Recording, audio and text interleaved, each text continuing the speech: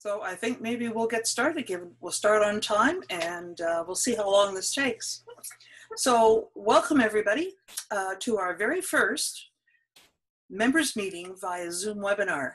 Uh, we ask that you be patient with us. Uh, we did have a practice session, but that doesn't mean that it'll necessarily run smoothly. Um, but we will do our best. Um, the as one of you pointed out earlier, uh, we do not have your pictures. And if you want to speak, at the bottom of your screen, if you move your um, cursor down, you'll see a little hand down there. Um, if at some point you want to say something, you can raise your hand. It'll be noted here, and we will address your hand when there's a, a moment that we can do that.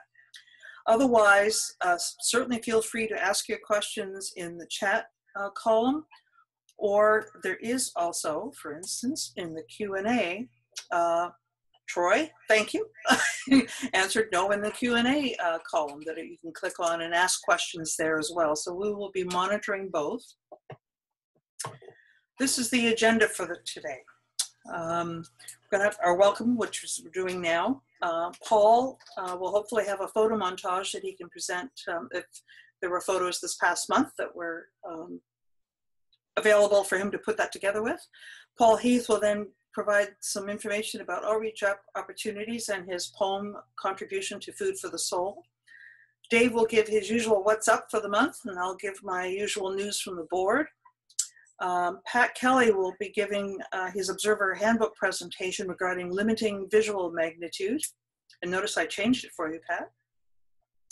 Um, Wayne um, will hopefully be around to provide the librarian report. And then Blair and Jerry will give uh, their second part of, of their three-part series, Anatomy of an Imaging System. What toys do you need? Uh, Paul Heath will then give a really cool uh, thing on, on making stars. And then Paul Gray will give our special presentation regarding variable stars, observing and reporting. So that's what we're up to today. So I'm going to hand it over to, um, oh, one other thing I wanted to do before I hand it over to Paul is for those of you folk who are out there in uh, the audience who are not members of RASC, I would like to encourage you to do so. There are several benefits of, of uh, joining, uh, such as you get a copy of the Observer's Handbook every year when you're a member. You can subscribe to the journal uh, be it hard copy like this one uh, or electronic. And you also get the cent or the uh, National RASC Sky News, uh, which is a, an incredible magazine. So, um, not to mention, you get access to our observatory and to our library, uh, and to our Nova Notes, which is our center's uh, newsletter. So, on that, that note, Sky and Telescope you put up. Pardon me? That was Sky and Telescope you showed. Oh, shoot. You're right. ah, Hertz saw the letter. Jerry, can you bring that in from the other room, please? Sky News. Thank you. There we go. Try that one. Sorry about that, guys. I have all our magazines on our coffee table, and so to have it them together Okay, on that note, I'm going to hand it over to Paul Heath and to, um, gotta find you.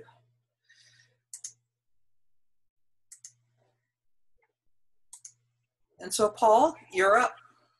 Okay. Uh, for the outreach opportunities, since we're all segregated and isolated and everything else, uh, what we're we've got some with national as well as we're doing a few ourselves. Uh, some online outreach. Uh, uh, I don't know how uh, Blair, what Blair called it. Uh, it was uh, visual observing online. So there'll be few observing, Paul. Visual observing. Virtual observing. Virtual. Okay, virtual observing. So that'll be that'll be online. check the website for any of the times that that might be posted, both on the national and on our local site. So that's about the, the outreach activities. Um, at the, I, my uh, food for the soul is sort of related to our isolation uh, uh, situation. And uh, I don't know if uh, uh, many of you remember what happened after 9 11.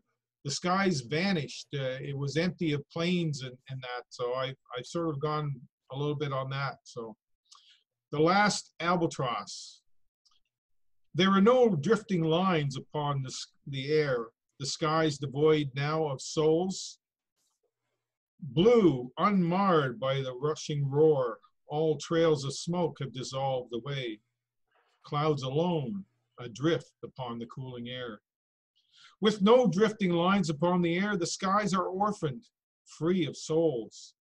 Silence fills the blue above.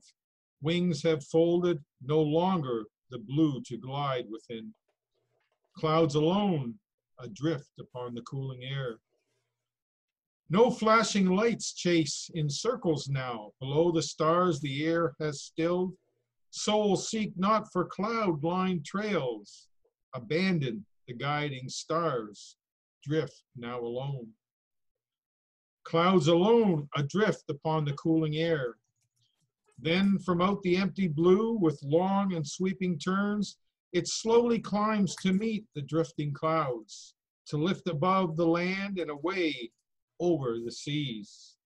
Aloft, alone among the clouds, last albatross upon, upon the cooling air drifts away. That last albatross was a cargo plane leaving Halifax at two weeks after the cancellation of international flights. Hmm. Hey, Judy. Okay, thank you. Okay, uh, next up, um, we have Dave Chapman.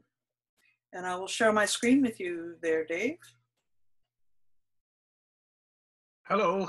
Um, maybe I need to share my screen. Yep, that, that would uh, be the I better. don't, I don't need your screen. Thank you. That's correct. Yeah. So hello, everyone. Uh, a little um, rehearsal of this the other day, so we'll see if this works. I'm going to share my screen and see if I can uh, put up my PowerPoint presentation and uh, also see the links from the PowerPoint. Um, so after we're all done, if you want to go to the RASC Halifax webpage, the What's Up for April is already there as a PDF file. Of course, you don't have the benefit of my voice, but the information's there and the links on the PDF file actually work. So if you want to follow up some of the links after the fact, if you go to our webpage and look at the PDF file for What's Up, you'll be able to follow those links. So here goes. I'm going to try to share my screen. And first of all, I'm going to go to my PowerPoint and I'm going to go into screen mode. How are we doing? Great. Everybody see that okay? Yes? Yeah, it looks good, Dave. Great. Okay, so this is the What's Up for April. And uh, so what we've started doing uh, is uh, we used to do What's Up, you know, based on the- the meeting date. But now what we're doing is we're we're just doing it for the month. And um, and sometimes the meeting takes place partway through the month, but it's it's just easier to do it for the month and and and and post it on April 1st for those people who don't get to the meeting. Uh, and I use my source for this is mainly the Observer's Handbook, and I use Sky Safari quite a bit um, to make the graphics and to look up some data and so on. Um, by the way, I'm not, uh, I don't work for Sky Safari, but for those that are interested in Sky Safari as an app, uh, I believe that uh, Sky Safari, some elements of it might be on sale at the moment. You might want to check that out this weekend if you're ever interested in buying it. I think it's great. Um, you can do all kinds of things on it, including uh, running your telescope if, if you're into that. Okay, so let's move along. First of all, we'll talk about the sun this month. And uh, you know what's really weird about this is not getting the feedback of the audience, not seeing the audience. but uh, anyway, I hope everybody can see this. Uh, you're quite uh, welcome to ask questions. Uh, maybe maybe you could wait to the end.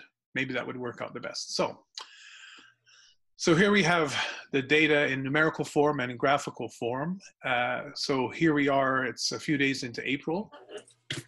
Um, so what you can see is now we're well past uh, the equinox, so there's more dusk and nighttime than there is daytime. So the sun's setting around, uh, you know, 20 to 8 now, and it doesn't get it, it doesn't get dark astronomically speaking till about 9:30. We have uh, under eight hours of darkness before dawn starts again around 5.15. Um, and solar noon is at 12.20. Uh, so there's a bunch of different reasons uh, why that is. Actually, that's a mistake, I think. That should be 120 because we're in daylight saving time now. So I'm, I'm sorry about that. But we're getting, uh, for the gardeners out there, we're getting um, over 12 hours of dark of sunlight.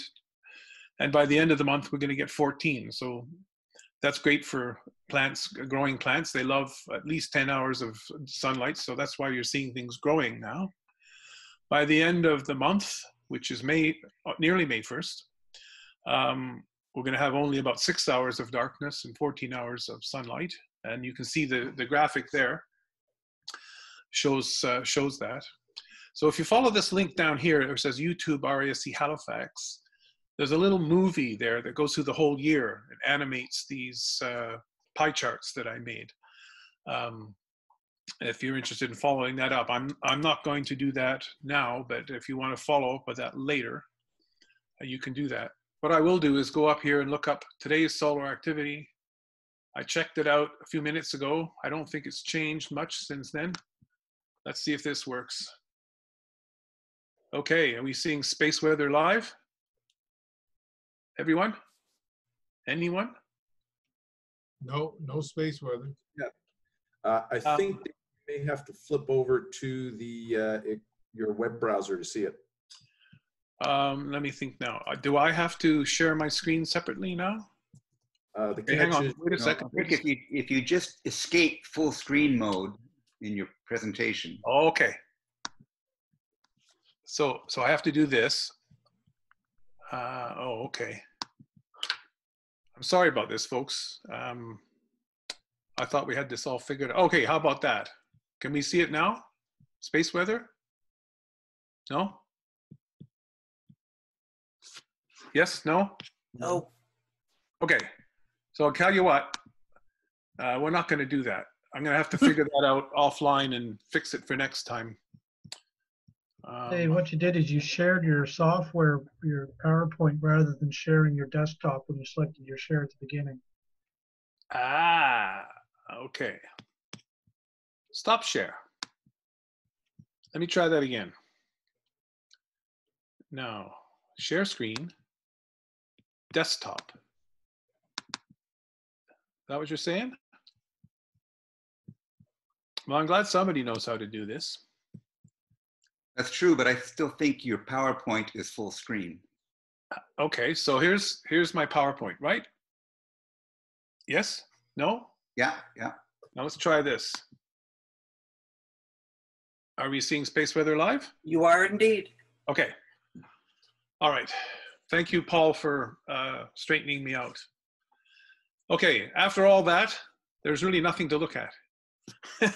there's like one sunspot group here, 2759 uh, in white light. And then if we go over to some strange wavelength, which looks like um, aquamarine wavelengths, whatever that works out to in angstroms, you can see there's some kind of activity there around that sunspot group that you can see over here. So not much to look at unless you have a specially filtered telescope. However, because of uh, maybe somebody can correct me on this, because it's a high latitude spot, it means it's a spot coming in the upcoming solar cycle. Can anyone verify that? That would make sense because they start off well away from the equator, and as the Yeah. cycle progresses, they get closer to the equator. So the bad news is we're near a solar minimum. The good news is we're seeing the beginning of the next solar cycle. Pretty cool. Okay, thank you very much for that. And uh, and now we're looking at the moon, right? Yes. Yes, Okay, so um, April 1st was first quarter, and uh, of course it was uh, it was very um, overcast and windy. Um, so we've, we missed first quarter. Full moon is coming up on April 7th, which is eh, Tuesday, and it's the birds laying eggs moon. And there will, because it's near perigee, there will be large tides to follow. Okay. Um, Blair, you're there? Blair, Blair, hello, Blair. Yes, I'm here, Dave. Uh, is this a good time to maybe tell people what we're gonna do uh, when it's next clear? Absolutely. Go ahead. Okay. Um, Dave and I have been chatting after we did the uh, first virtual observing uh, session uh, what, been, last week. Uh, and we thought what we do is try and do a lunar observing session. Um, of course, requires some clear skies and uh, reasonable hours. And what I will do is uh, set the telescope up again in the driveway. Uh, and with uh, Mr. Chapman's uh, exceptional MC skills, we will give a high magnification tour of our nearest neighbor. Yeah, we had a lot of fun with that for a moment last time where we got onto the moon and we were looking for the crater Newcomb, which has a Canadian connection, and we we had fun looking for that and finding it. So uh, when we decide, when we figure out when that's going to be, what evening that's going to be, what I'm going to do is I'll go in and figure out where the Terminator is on the moon, and I will pick out a number of objects that are in uh, explore the moon, and we can kind of focus on on those and try to find them. Um, does that sound reasonable, Blair? Yeah, that sounds perfect. And uh, the only issue we will have uh, is uh, we've probably got Sunday and part of the upcoming week uh, to do this. Otherwise, we may have to put it off till the next lunar cycle. The reason being that uh, tomorrow night uh, at a reasonable hour, um, I'm one of these foolish people that occasionally still has to crawl into work in the morning to pick stuff up and take home. Uh, the uh, moon won't make it up above my neighbor's house until about nine. Oh, okay. And of course, as it gets uh, later and later in the month, that gets later and later before the moon crosses. Right. Okay, well, yeah, understood. Um, I don't think we sh- will be spending more than about an hour or so, maybe maybe more, but uh, an hour should do it. You know, of observing, don't you think? I'm not too concerned with the amount of time the observing takes. It's just when it starts. So, like And I said, yeah. tomorrow night we can probably start at about eight. Uh, and then it's what, roughly 45, 50 minutes a night that uh, Yeah, we yeah. go back. So, work it Okay. out there. It'll be quite late after a few more nights.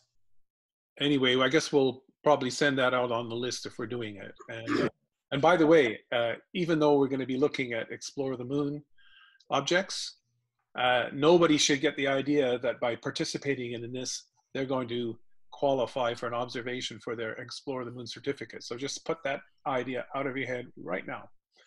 Uh, this is just a fun thing. Uh, um, to, to get the earn the certificate, you have to use your you got to get your eyeball to the telescope and look at real photons. Okay, so just clearing that up. Sorry to interrupt there, Dave. Paul just uh, fired me a quick chat. Uh, his comment was if it's later in the month and I can't see it at a reasonable hour, he can probably run it from his observatory. So one way or another, we should be able to get it. well, once it gets the full moon, uh, yeah, um, once it gets past full moon, it's going to be rising pretty late. So hopefully we'll get it done sometime over the next uh, few days or a week anyway. Yeah, and if Okay, not, great. like I said, we'll do it next month. So there's one more thing I'd like to do here. Um, since it worked so well the last time, is I would like to go and I would like to go and get Curtis to help us pronounce the um, Mi'kmaq name for birds laying eggs moon. Let's try it.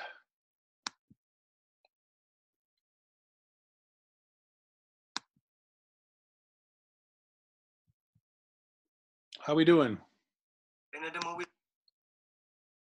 are we there? Can we see that? Hello? Yep, no problem. You just got to press play. Yeah, I just, I need feedback if people are seeing things, is all. So it's okay if Judy has her mic on and tells me things. Yes, we can see it. Thank you. It's stuff to Here we go. There we go. When the movie goes, when the movie goes, birds laying eggs moon comes from the word benat to be laying eggs. When the movie birds laying eggs moon.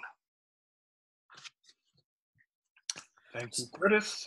So Dave, there was a question from one of our members who said, would it be possible to record your, the session that you and Blair are doing? He'd love to show it to his niece, but it'd be too late for her to actually attend. We That could, would- we That could would, do that. yeah, we, that would be up to the person hosting it, I think. But uh, if Blair wants to do that, that's okay with me. I would certainly have no problem doing that, provided we let people know it's being recorded in the emails that we send out to invite them. Yeah, just as this session is being recorded as well. For educational purposes, Yes. not to improve your customer satisfaction. okay, so birds laying eggs moon. I don't know if anyone else noticed it, but I've got birds ga- gathering stuff for nests around here. And uh, I actually talked to one person uh, who's a member. Uh, uh, and um, that individual told me they observed a nest in their vicinity. And uh, so it is, it's happening, folks. It's real. So last quarter is on April 14th. If you're a real keener, that's when you can get up in the morning and look at the moon before you don't go to work or whatever it is you do in the morning. Uh, I used to observe quite a bit in the morning. Uh, I found a nice time to be up and about. But if you're trying to get those elusive um, uh, craters on the, the western part of the hemisphere on the moon, uh, that's a good time to do it. Now, on April 15th and 16th, there's some interesting conjunctions in the sky. So, for some time now, the three planets Mars, Jupiter, and Saturn have been in the morning sky just before dawn, and the moon will join them on the 15th and the 16th. Now, we're talking about maybe getting up at five o'clock or something like that. Um, so, anyway, you can get out and just enjoy them, or if you're an astrophotographer, there's some wide field um, options there, opportunities to capture the moon with planets. Uh, I'll say more about the planets later. The new moon, the next new moon is April 22nd, and that will be Frog's croaking moon. And I'll talk about that, I guess, next month. And on April the 30th, the last day of the month, we have another first quarter. So that's interesting. And so we have two first quarters this month.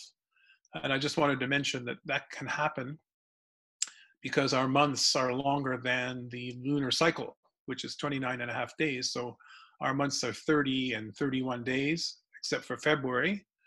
So you can have these uh, instances where you get two phases in a month, and this is one of them, April 1st and April 30th. Okay, let's move on. So here's the uh, map of the moon that's in the Explore the Universe guide. Uh, it's a very compressed uh, list.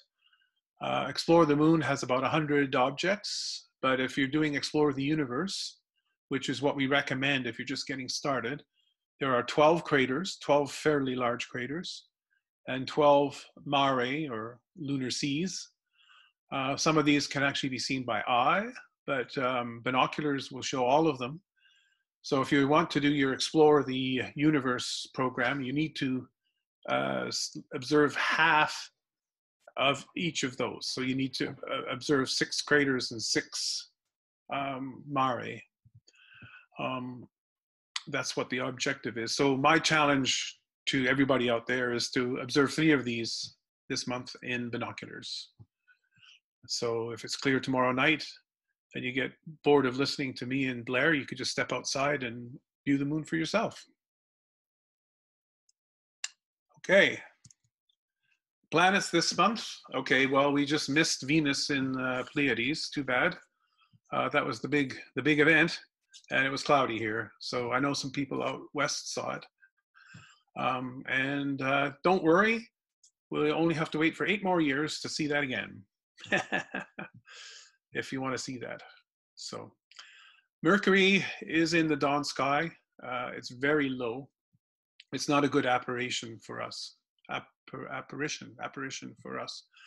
Uh, it's difficult with with diff- with if you have a low horizon and you're um, and you're keen, you might be able to find it with binoculars. Venus, of course, is a uh, still a br- brilliant even, uh, evening object, and I, I, had it as a challenge to see it in the Pleiades. Uh, on the 27th, it's going to be its greatest illuminated extent, which means it'll be magnitude minus 4.7, the brightest it will be this year, at least this this season, and it'll be a crescent phase. Now people say, well, how could it be brightest when it's only a crescent? Well, it's because it's a combination of factors, but it's getting closer to us. As it gets closer and closer to us, it becomes more and more crescent, and it's closer to us, and it's also larger. So all those things combined, and you get you get the most amount of light reflected from the sun. So uh, it still has some brightness to gain, and and the, re- the rest of this month it's going to be still pretty bright. I should say that after that, uh, it's going to not take very long to plunge down towards the sun and uh, go into inferior conjunction. So that's it's going to disappear by the end of May. I would say it's going to be pretty hard to see Venus, and then it'll pop out into the morning sky. Mars is um, bright, not not crazy bright, but it's getting brighter. So over this month, it'll go from magnitude 0.8 to 0.5, uh, and it has a conjunction with Saturn and Jupiter. Um, I, I, mentioned that, uh, I think. Anyway, I forget the day. I didn't put the date here, but it was on the moon thing. Um, I forgot to put the date. Sorry. Um, I'm gonna have to look that up, or maybe maybe Pat Kelly could look up the the, the conjunction of the Saturn while we're talking. Um, what was I going to say about Mars? Oh yes, Mars. So Mars is headed for a um, an opposition, a, a, reasonably close opposition for us in October when it's going to be super bright, super close, and situated in a good place in the sky to observe. The last opposition was brighter and closer, but it was so low in the sky that it was hard to actually see very much this opposition is going to be in October. It's going to be higher in the sky, and, and it's going to be a, a, better a better view. So we're going to be working towards that through the summer. Pat Kelly is actually going to give a talk uh, at Nova East about Mars, a little bit about its science and a little bit how how to observe it. So for those going to Nova East. Um, did Pat Pat still looking up that conjunction time date? You got it. I just grabbed my handbook. Yep. Okay, May, we'll move on and Pat can interrupt when he gets the date, but there is a nice conjunction with Saturn and Mars. Uh, me, this allows me to talk about uh, the comet, Comet Atlas, C2009Y4. This was discovered in late December and it's coming on strong. At the time, it didn't seem like it was going to amount to much, but it has taken on a bit of activity. Now they're suggesting it might actually become naked eye by the end of May. So here I have a plot of the um, the path of the comet in the sky, centered on the middle of this month. So it's still well up in the sky at dusk. Uh, it's hanging around um, Camelopardalis, Perseus. Um, uh, there's not many bright stars to to find it, but um, right now it's about magnitude eight or 8.5. It may get brighter. I, I don't know of anyone who found it in binoculars yet. Uh, you should be able to in a dark sky. In the city, not so much. Uh, I'm going to say it's going to need a telescope. And if it does get bright, even if it gets bright, I would recommend people leave the city to look at this comet because when Hyakutake, was here, and it was an amazing comet back in 1996, uh, it looked amazing from a dark sky. But when you went back into the city, it just looked like a little smudge in the sky because of the light pollution. So the people who didn't leave the city totally missed out. So that's what we're um, that's what we're looking for. We're following that comet. I had an interesting uh, conversation with uh, a very anxious woman on Twitter. She was very concerned about it because, of course, all the conspiracy theorists are saying that this is going to crash into Earth and all this kind of nonsense. Um, anyway, I had an interesting conversation. Um, don't worry, folks, it's not coming near Earth. Hey, Pat, you got that conjunction between Mars and Saturn yet? Yes, well, I, I, I was looking in the handbook and couldn't find it. And then I realized the reason for it was, it was March 31st. Uh, okay, I don't follow that. Has it already taken place? Okay. Um, More on the comet. Um, there's a little uh, uh, animated GIF that John Reed took. He, he took 42 exposures with Ralph, the robotic telescope, one night, and made this little video of the comet. Now, you, have to understand this is a time lapse. It's not actually moving this fast against the stars when you look at it. So the, this thing is cycling every few seconds and it represents three hours of movement. So you have to imagine this is how it's moving over up, you know, a good part of the night. But it, it's reasonably bright in a telescope and it's got a nice little tail. So it's really worth, if you've got a telescope, you should really make the effort to look for it. Moving on, it's springtime. The Explore the Universe spring constellations are the same as last month. Ursa, Ma- Ursa Minor, very easy to find near Polaris. Ursa Major, if you can't find Ursa Major, find another hobby. Uh, uh, Bootes, the herdsman, Leo, Virgo, and uh, Libra, a little bit harder to find. Um, I'm just going to use my cursor. Is my cursor working? No, I can't. Oh, there it is. So to find Arcturus, you take the here's the here's the Big Dipper. You take the handle of the Big Dipper, and you and you follow the arc to Arcturus. Oh my goodness, what did it do? Here we go. You follow the arc to Arcturus, and you keep on going, and you find Spica, which is down here behind these words. Uh, it's a fairly bright star. Uh, the, the rest of the stars in Virgo are a little bit harder to find, especially from the city, but you should be able to find Spica anyway. And Libra is over here. Uh, it's got a couple of um, couple of brightish stars, Zubenelgenubi and Zubin Shamali. Libra used to be the part of Scorpius, and claws of Scorpius, and I think these are like the upper claw and the lower claw, or something like that. So, as terms of ranking of brightness, uh, Arcturus is the third brightest in the sky. Spica 14th, Regulus 22. Regulus and Denebola are over here in Leo.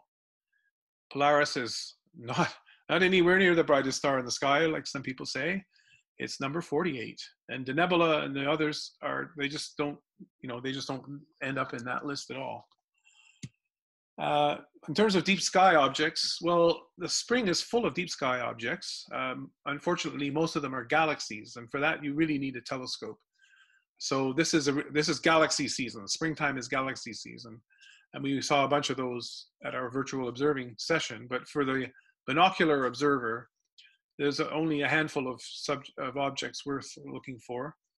Uh, the beehive in Cancer uh, is a nice little open cluster of stars. Try to get that as soon as it gets dark because it's setting in the west. And then over here in uh, below the uh, Big Dipper in this area is the Coma cluster. It's a beautiful um, cluster of stars. None of them are super bright, but together they make a very nice view. There's a photograph here of the Coma cluster. It includes a double star bonus. 17 Coma, I think, is a double star in Explore the Universe. There's a little double star. And then finally, Messier 5 is a globular cluster, which you can find. So those are only the only three uh, springtime um, deep sky objects for Explore the Universe. So the challenge is to go out and try to find the Coma cluster with your binoculars. And you, with binoculars, you know, you kind of find the Big Dipper, find Arcturus, and kind of like just kind of look around here. Um, most binoculars have about a five degree field of view. It shouldn't be too hard to find. Also, coming from Leo, uh, up past Leo's bum here, go up there. So it's kind of between Regulus, Spica, Arcturus, and the Big Dipper, kind of in that area. Now, Betelgeuse. We were very excited uh, watching Betelgeuse uh, fade around Christmas time and beyond. Now, a lot of people lost interest in it because it's getting bright again. So it's not gonna it's not gonna blow up, I guess, and become a supernova like everybody hoped. But here's some data points. And what I've done here is kind of interesting. The data points I'm showing here from the American Association of Variable Star Observers, but I've only included the Canadians in here. So this is only Canadians, and the green the, or, the, the green boxes are um, they're kind of um, how should I put this sort of scientific measurements in the visual spectrum using instrumentation attached to the computer, and the circles are visual estimates by observers using their eyes.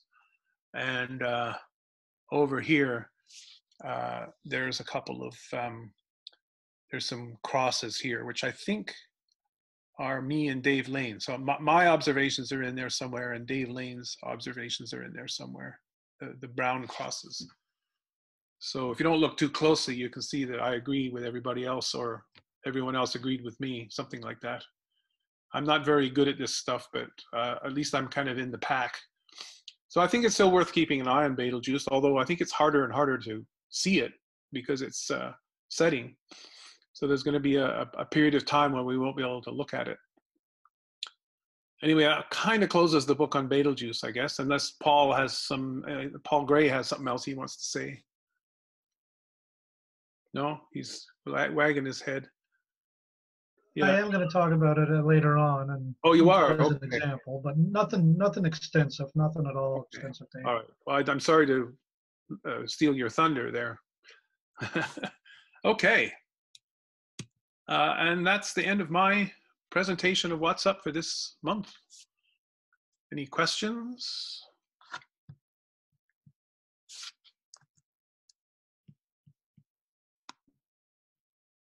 Wow, we've got a quiet group. Yeah, we'll just uh, give them a few moments to access their Q and A and type in their uh, or the chat and questions. Uh, they, can, they, can, they, can, even raise their hands. They can do that too. Not well, sure everyone knows how yet, but for all those listening, if you um, move your mouse at the bottom of your screen, there is a spot that you should be able to find your Q and A's to, to uh, do those, and in your attendee list for the viewers out there, you should be able to hover over yourself and see a spot where you can click on raise hand. Uh, one of our members says, just applause. He's clapping. I'm gonna, I'm gonna put someone on the spot. I'm gonna see who, who, have we got here. Uh, uh, let's see now. Who are we gonna ask? You know what? I see this name here, John Nangreaves. He was a member, and he's he went off and, and he's living in PEI. John, raise your hand and say say hi at least. Come on, man. Oh, so shy. okay. Well, anyway, a shout out to John. I, am glad he's tuning in. He, his, uh, his hands up now, Dave. Both hands up. Hands up. And Sherman Williams got his hand up. Uh, just a second here now. Okay. Maybe. Well, we'll go to John first. Oops.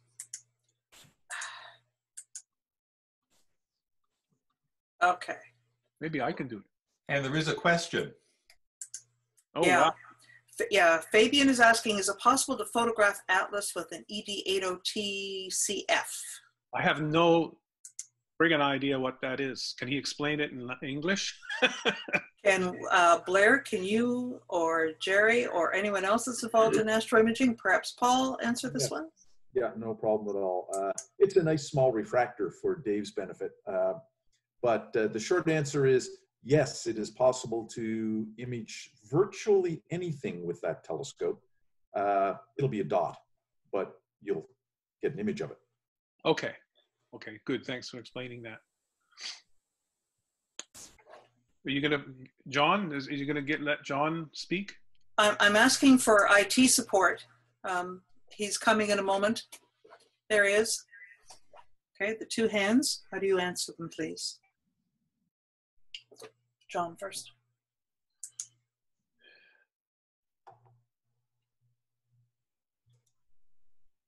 John, can you say something? Just see if we can hear you. All right, no. Okay, so we may not have given them that capability. We may. Okay. okay, when then they should put their questions in chats. Correct.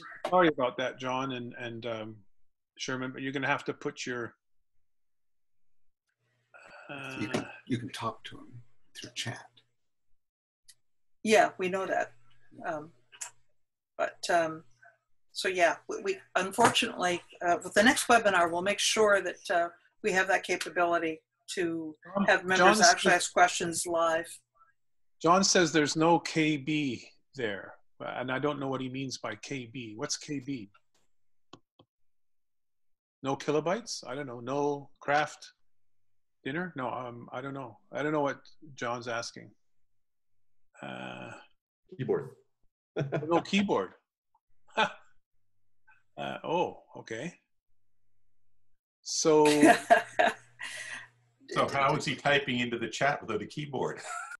I have no idea. You know what? I think we should move on. If anybody has any questions later, and uh, Thank uh, you. We'll, we'll, I guess we can always uh, try to field them later. The, the, the technology is failing us here. Yeah, so you, you can still ask your questions through um, Chat.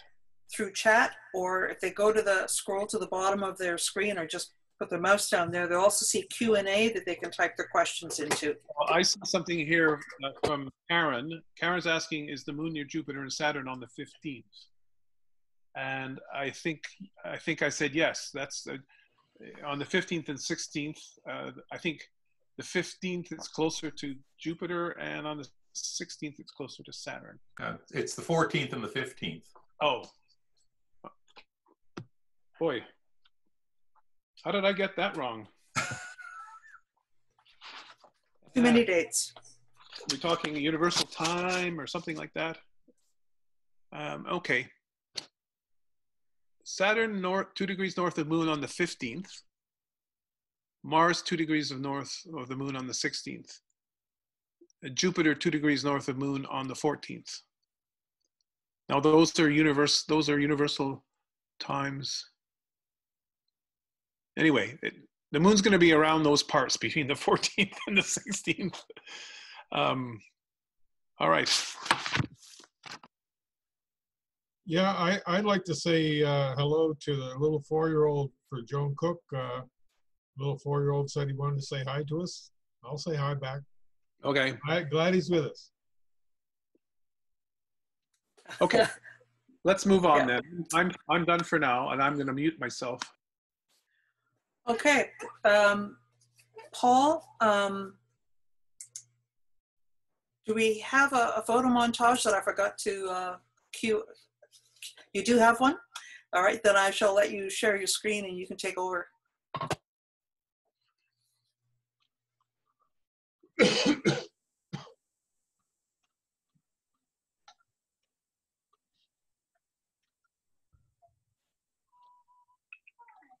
Should be coming through now. Does you guys see it, panelists? Yep, no problem. All right. I'll hit the first button and just let it roll. Maybe. So anyway, I left them run for 10 seconds each. There's probably 15 photos in here, a couple minutes. I don't know, want to just leave it run through. I don't want to narrate it, but people can comment or ask questions through the, the usual channels.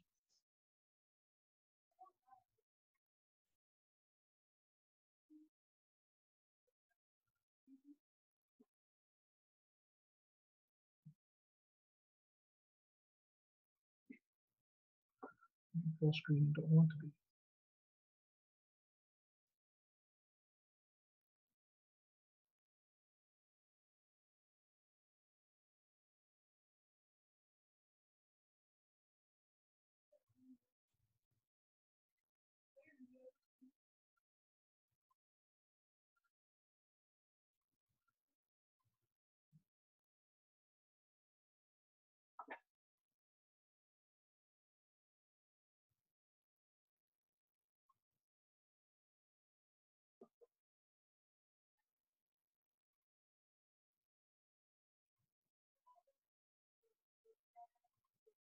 Oh, well, that's run, running through there. I just thought I'd answer Sherman. Uh, he asked if he was in contact and Sherman, yes, you are. I'm in full screen mode. I'm trying to figure out how I can get out so I can see the chat and stuff at the same time. That's why I figured I'd answer it.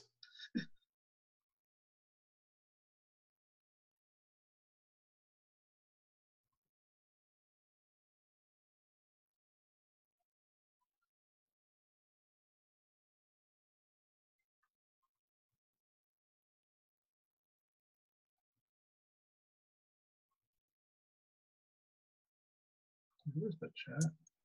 I guess while we're watching this, we'll have to wish a very happy birthday to Carly Jorgensen, whose See birthday is today. 72. Happy birthday, Woo. Carl.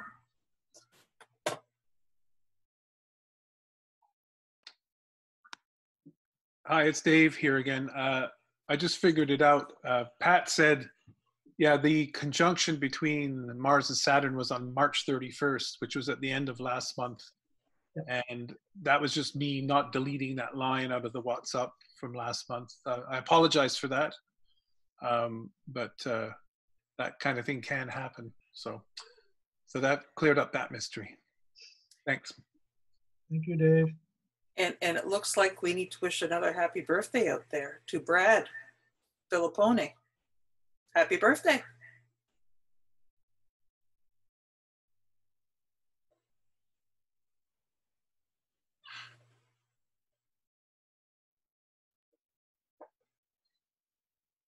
Obviously, the weather's been getting better. There's a lot more images and sketches going on. We've had a pretty good month in the last week and a half. Like Paul was saying, the skies have been amazingly transparent and it is clear. Also, a lot more people are home and able to take pictures. Yeah, it's been nice to not have to get up as early in the morning. The, the work to, the commute to work is really hard now. The five minutes to get out of bed and get downstairs.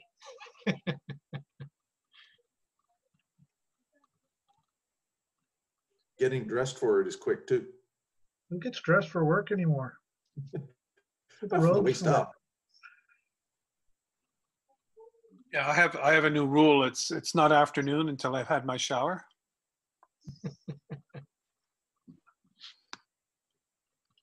Which sometimes means days don't have afternoons.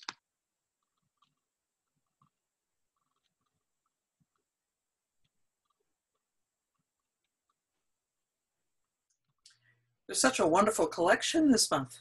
Yeah, it must be galaxy season, eh? All those galaxies in there.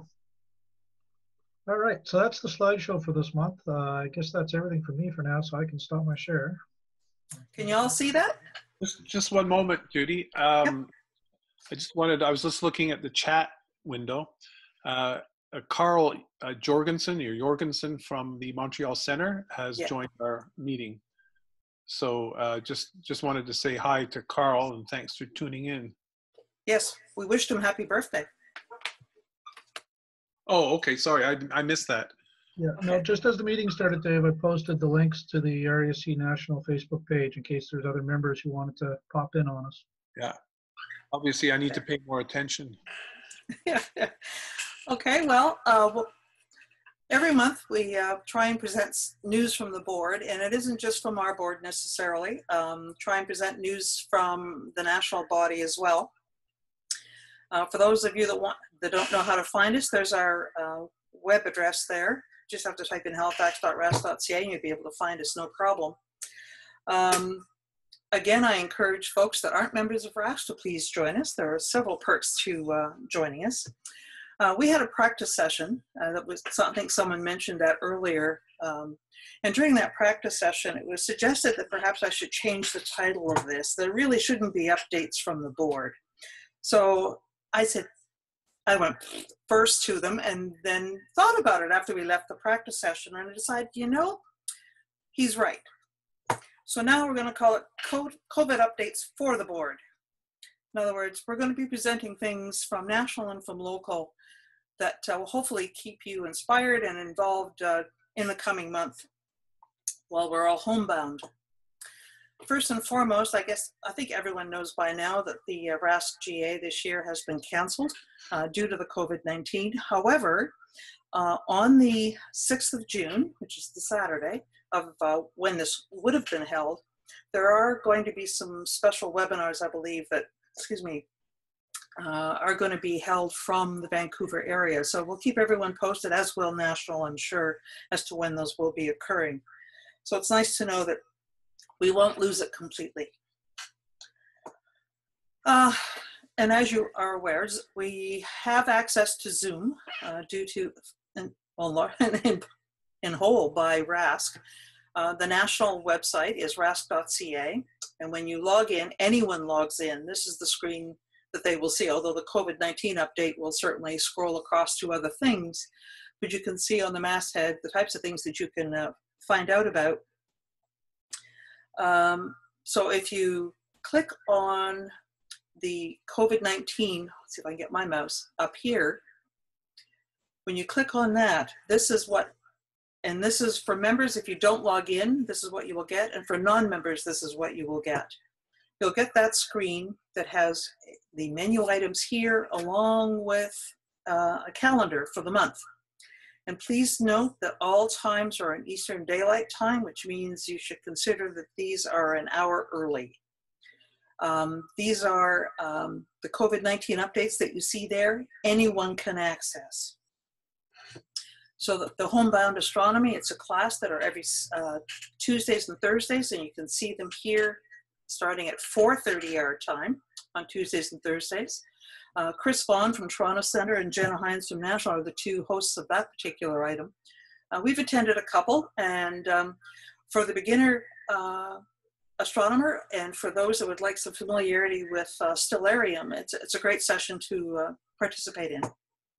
The self-isolation parties, the star parties, are every other Wednesday. And you can see it here in the star party on upcoming one on April 8th and another one on the 22nd. Um, it's a webinar and it'll be on RASC YouTube as well. And, um, and also, where are we here? Yeah, the self-isolation parties. Yes, that's 11.30 p.m. our time, not 10.30 uh, theirs.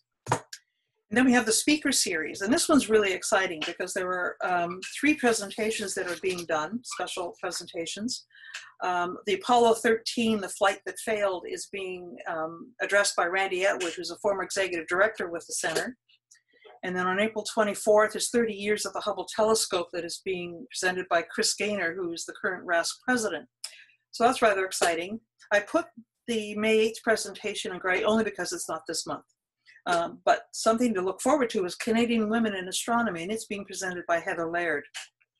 So those are two, very, three very exciting series to uh, be involved in. Um, certainly, uh, this week's sky, you'll see that little nice little thing there. It gives you exactly what it says. It's what's in the sky this coming week. Um, but also here from the e-reads, um, RASC has a national archive uh, and um, this is giving you access to several items, uh, documents, photos, books, um, history of RASC and history of the Observer's Handbook. Um, there's actually digital versions of the old ones from 1908 to 1989, which are rather cool to go in and see what they look like and their contents compared to what we have now. Um, and also there are three Observer Handbook history articles. And one of them was written by Dr. Bishop, uh, Roy Bishop, uh, entitled 100 Editions of the Observer's Handbook. And that article was written on, obviously, on the 100th anniversary of the production of the Observer's Handbook. And so this is a great segue to, from members only, and this is why you should become a member, is that there is uh, eight consecutive sessions, except for the holiday Monday of May, on how to use the Observer's Handbook. And it's being presented by uh, James Edgar, who's the current editor of the handbook, along with um, several of the contributors to the handbook. Um, during those eight sessions, we have two from Nova Scotia that are going to be presenting. Um, one is Pat Kelly, and the other one is Dr. Roy Bishop. And there are two other gentlemen who are contributors as well, Bruce McCurdy and Alister Ling, who will also be uh, presenting those. And that is something that members you will have to register for, and it gives you the link there as you can see. So just another perk of membership, right? So you've got to become a member. Um, thanks to National, our center has access to the National Zoom, and as a consequence, we've been able to do things such as what we're doing today. Um, if you have any questions about Halifax Center itself, that's the email address that you can access us, halifax at Otherwise, this is how we've been using, we'll be using actually, uh, our Zoom, uh, National Zoom account. We have two members meetings uh, coming up, one on May 2nd, another one June 13th that have already been uh, set up to go.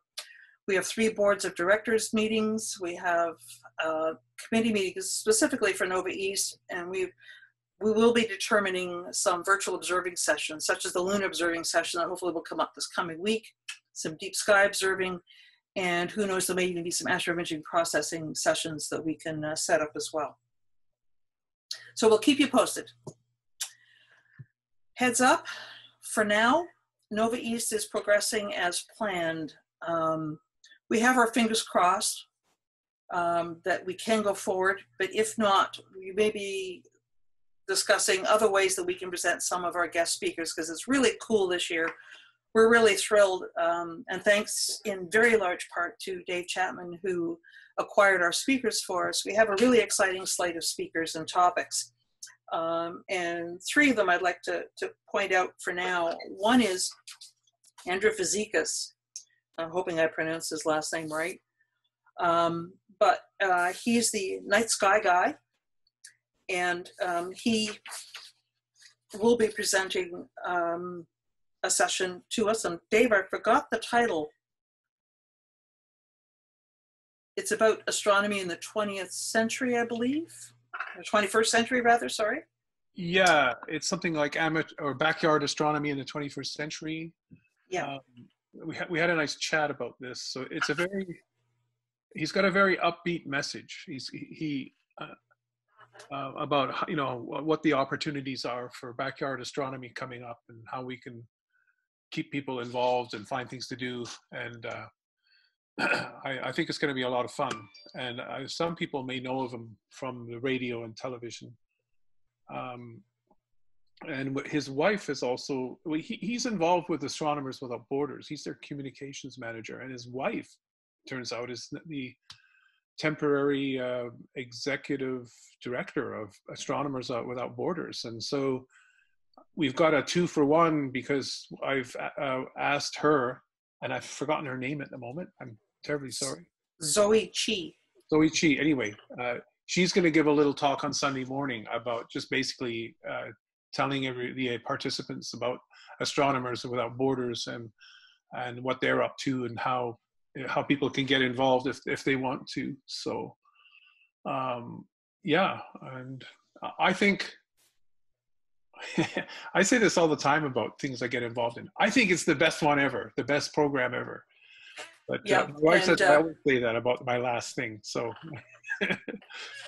Well, it, it is very exciting because one of the things that one of the goals when we set out to acquire speakers is to make sure there's a cross representation of male, female, and young. And I think this year uh, is really exceptional uh, in, in, that regard. And especially when you note that we have two of our youth members, uh, Keegan Oikel and Fiona Morris, who are also presenting a session um, entitled The Next Generation.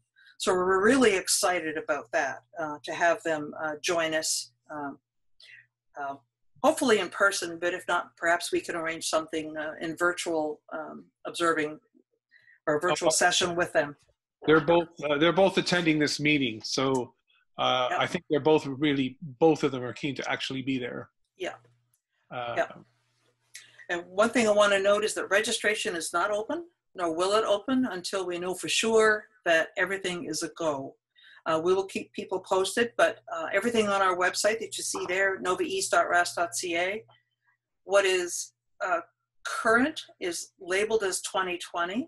Um, that's one of the things we've started to do so that people will know that what's there is current. Um, the um, and the speakers, the speaker schedule, the schedule and the speakers list are all updated. So if you want to see what the schedule is that we've set up, you can go to our site and look at what we've planned to uh, present on that weekend. And please note that there are also three items on the etiquette that have been updated that people should make note of.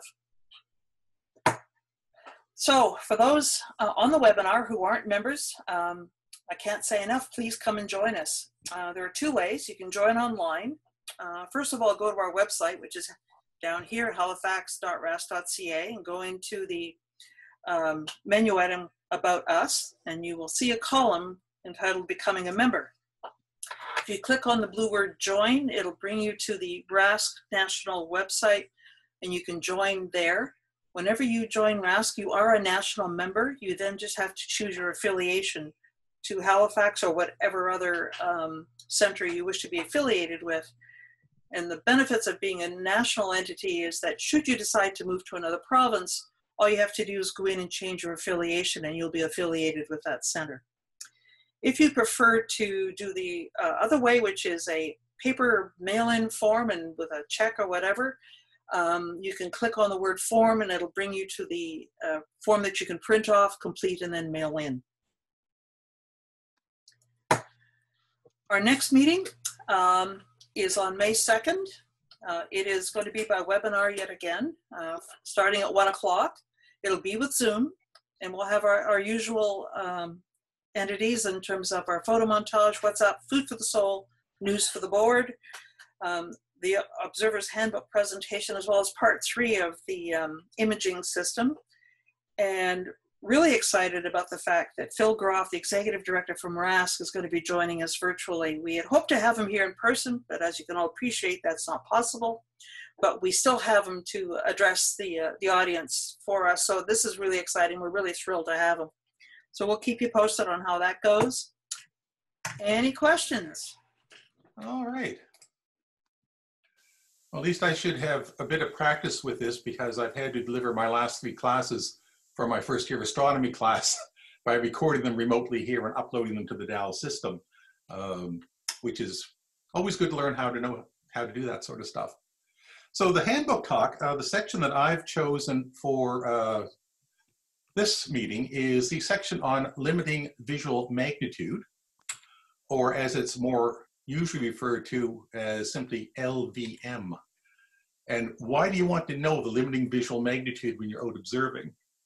Well, obviously, if you're looking for something that's really faint, uh, the clearer the sky is, the fainter you're going to be able to see. And being able to know what the limiting visual magnitude is gives you an idea before you actually start observing whether you're actually going to be able to see fainter objects. And if you have a telescope, as I'll talk about later on, that you're, you're looking for objects of a particular brightness and the sky is really crappy, then you might know that you might want to stick to brighter objects with it. So that's sort of what the main reason you're going to do this uh, is for. And it also gives you a measure of both not only how clear the sky is, but whether or not you have a lot of light pollution. And if you're in some parts of Canada, whether or not you have enough, a lot of northern lights. And I remember one time, even from Nova Scotia, uh, looking through my telescope, thinking that the sky was turning crappy, and it's because I was looking through northern lights that were starting up, and that's why I couldn't see uh, what I was looking for. So The section in the handbook uh, looks at, has things for, uh, for doing it visually and for doing it with your telescope. Visually, it's centered around the area of the North Star. And this is just basically a view of the North Sky uh, for around this time of the year, around 11 o'clock at night. Uh, we have the Big Dipper overhead. I'll show this uh, with a little bit easier to find a little bit later on. Um, so this is looking towards the north, and I'm just going to sort of turn on the labels for the stars so that you can sort of see Okay, maybe not. There we go. Let me back up one. Okay, so here we have uh, the stars that mark the Big Dipper up here at the top. Uh, Vega and Deneb, the two of the three stars in the summer triangle, are actually up now. You can actually sort of see them if you look towards the northeast, uh, which tells us that summer is on the way. And the winter stars are starting to set over in the west, and Capella is the really bright star over here. And here is Polaris, the North Star. And I'm just going to remove those so I can draw in a couple of lines. So the Big Dipper is the way that you find the North Star. So again, for those of you who may be new at it, the Big Dipper right now is right up overhead. So if you look or less straight up, you'll see it. And the way that we find the Big Dipper is by using these stars starting from the handle and using these last two stars, which are the sort of pointer stars, and they will point you to the North Star. And it's a fairly easy uh, trip because the distance you want to travel along this line is about the same angle in the sky that the Big Dipper is long. So that's what tells you where to stop. And contrary to popular belief, uh, the North Star is a bright star, but it's nowhere near the brightest star in the nighttime sky. The key thing to note here is that the Little Dipper also is a constellation and it comes off of the North Star. So you notice that there's three stars in the handle and three stars in the bowl, just like there's in the Big Dipper. This line you, you want to keep in mind because depending on what time of the year you actually are looking for the North Star, as the Earth goes around the sun, the entire sky appears to rotate around the North Star. So this time of the year, this line comes off to the right of the North Star. In six months' time, it'll come off to the left. The reason you want to keep track of this line is because when we see in the diagram that's in the handbook, that line is in it. So it's sort of get you, help you orient yourself properly. So this is the chart that's in the section of the handbook on limiting visual magnitude. Um, as you can see, it's the area around the North Star, the North Star being the brightest one in here. The numbers are the magnitudes of the stars, and traditionally they leave out the decimal points so you don't confuse those with really faint stars. Uh, Paul probably talked about that a bit when he talks about variable stars. And again, if you're not familiar with the magnitude system in astronomy, it's probably the most screwed up measuring system you're ever going to come across because as the numbers get bigger, the object gets fainter. Whereas with every other type of thing, six degrees is hotter than two degrees, six kilograms is more than two kilograms. When you talk about star brightness, this is a 2.0 magnitude star and it's brighter than one that is six magnitude. Here's a little 6.1 over here. So the bigger the number is, the fainter the star. Here's the line that connects the North Star with the first star in the chain that makes the handle of the dipper. That's why I said you have to sort of make sure you get the orientation correct. And as you can see, there are stars on here going all the way down. The faintest one is magnitude 7.4, which is this one over here. If you can see that visually, um, you've got really big eyes or really good eyes.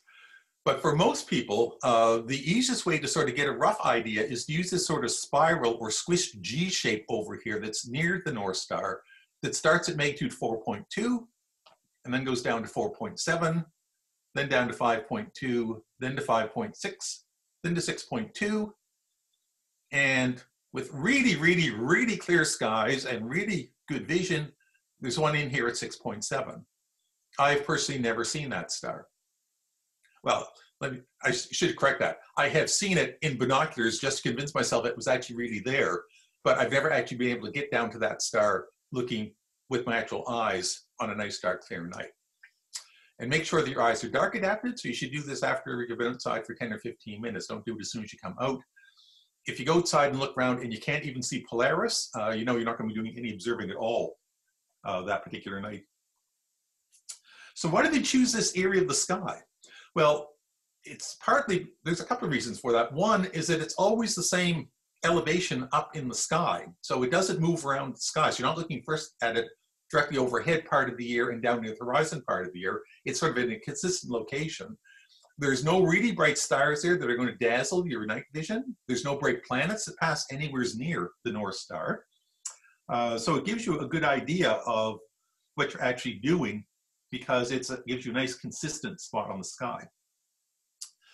So that's how you do it visually. And normally what most people tend to do is record your observation at the start of your session, and that should give you an idea of just how faint you should be able to see actual objects. Now, if you can do this with your telescope or with your eyes, you should also be able to do this with your telescope. And of course, there's reasons why you want to do it with the telescope as well, because if you look for a really, really faint object, you're going to be using something other than your eyes. So if you're looking for galaxies or other really faint things like Pluto, for example, uh, you're never going to see Pluto with your eyes without any sort of optical equipment. So you can do this as well for a telescope. Now for a telescope, you're going to need some part of the sky where there's a fair number of stars. You want to have the stars over a nice wide range of magnitudes or brightnesses So that if you have a really big telescope, you can see some, check out really, really faint stars and see how far you can go. You also want an area of the sky where it's up nice and high in the sky. So that, and I'll talk more about that a little bit later on. And you want an area where the stars are also spread enough far apart that you can actually easily identify them. And basically what you're looking for is an open cluster of stars that's fairly spread out. And the one that's actually been using, that's used in the handbook is one that's in the southern sky. So here we have the winter constellations. I'm not going to bother putting the names on. This is Orion over here. Here we have Sirius, Procyon, Pollux and Castor. Capella is just off the top. And over here we have Leo the Lion with Regulus at the bottom. And in between the constellations of Gemini and Leo is a faint constellation called Cancer, the crab, which is best known for this cluster here, M44, often called the beehive cluster. That's not the one they picked. The one they picked is in fact this one down here. This is M67, which is the other Messier object that's in Cancer. A lot of people forget that there's a second Messier object in Cancer because the beehive cluster is a really, really nice object. And if you zoom in on it, uh, there's M67. And if we zoom in on that area a little bit, here we have Pollux and Castor. So here's Gemini. Here's M35, another nice open cluster. Here's the Beehive cluster. Here's the constellation of Cancer. It really doesn't have a lot of bright stars in it. And in this particular program, even when you zoom in this far, it doesn't even feel that M67 is worth adding a label to it. So there's M67. So once you find M67, what part of, the, of this cluster are you looking for and what does it actually look like and how do you know you're actually going to be looking at the parts in the chart? Because you don't want to look at the very center where the stars are really closely packed. You want to look towards the out, outer edges of it. So this is a photograph of M67. Uh, and as you can see, it looks sort of like a shotgun blast on top of regular pattern of stars. So open clusters typically tend to be uh, fairly loose collections of stars. And the area that we're looking at is the northwestern part, so north and west. So this part of the cluster up here. And there's a couple, there's two sort of very easy to find patterns, at least they're easy to find for me because I've spent some time looking at the diagram to try and come up with them. And if you look inside this circular area, you'll see that there's two actual patterns. One is this one here. So this little pattern here, it looks sort of like a hockey stick. It's probably about as close to the Stanley Cup Finals as we're going to get this year. And underneath the hockey stick, there's a little line of four stars right in a row. So I'm going to zoom in on the upper right part of this cluster. Now, I'll give you about 10 seconds to see if anybody can actually find the hockey stick and the little line of four stars. And if you can't find it, don't worry, I'm going to show it to you in just a second, but I thought at least give people a chance to sort of see exactly how they're doing. Okay, there's the circle. And there is the little hockey stick. And there's the little pattern of four lines.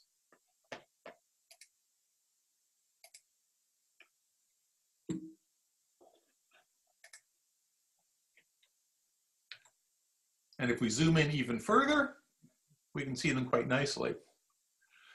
So this is about the area, the same area of the cluster that's actually in the chart that's in the actual handbook. So I'm gonna, Pat, yeah, is the star at the end of the hockey stick uh, on the right, is that a double star or just two stars that are visually? it's a double star when you zoom in close enough. But in the in the early ones that are fairly wide field, they're actually they, it looks like a single star. Think if I can if I can back up here. If I can back up, back up, back up, back up. Yeah, so even though here you can see you can see it's actually a double star. Depending, I can see it as a double star on my computer, but if you as you as you sort of zoom in, it becomes more obvious it's a double star. There it is here. And there it is there. And, and when we look at the actual chart, um, just go ahead here you can see on the chart it's actually a double star as well.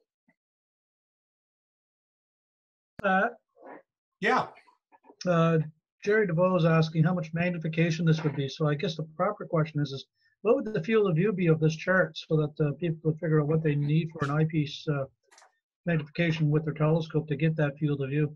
Oh, funny you should ask, because that's actually in the handbook. Um, the chart is eight minutes. So about Eight arc minutes. eight arc minutes, and the moon is about 30. So it's about a third the Mhm. diameter of the moon. So this is still a fairly wide, wide field view that you're actually looking at. And you'll notice in this particular diagram that without actually cluttering it up with all the magnitudes, because that would just add even more confusion, what they've done is they've lettered the stars in order from the brightest one, which is star number capital A. So they go from capital A to capital Z. And then the last little bit are done from lowercase a to lowercase e. So there's big A, there's lowercase a there. So A is the brightest, B is the next brightest, which is over here. Big C is down here. And as you can see, they, the dots get smaller and smaller. There's D. And then in this case, there's no particular pattern to them. Uh, unlike the little spiral shape you have near the Big Dipper or that you have near Polaris, you basically have to sort of work your way from one to the other to the other to the other until you find one. In addition to this chart, there is uh, there's also a table that shows you it comes in.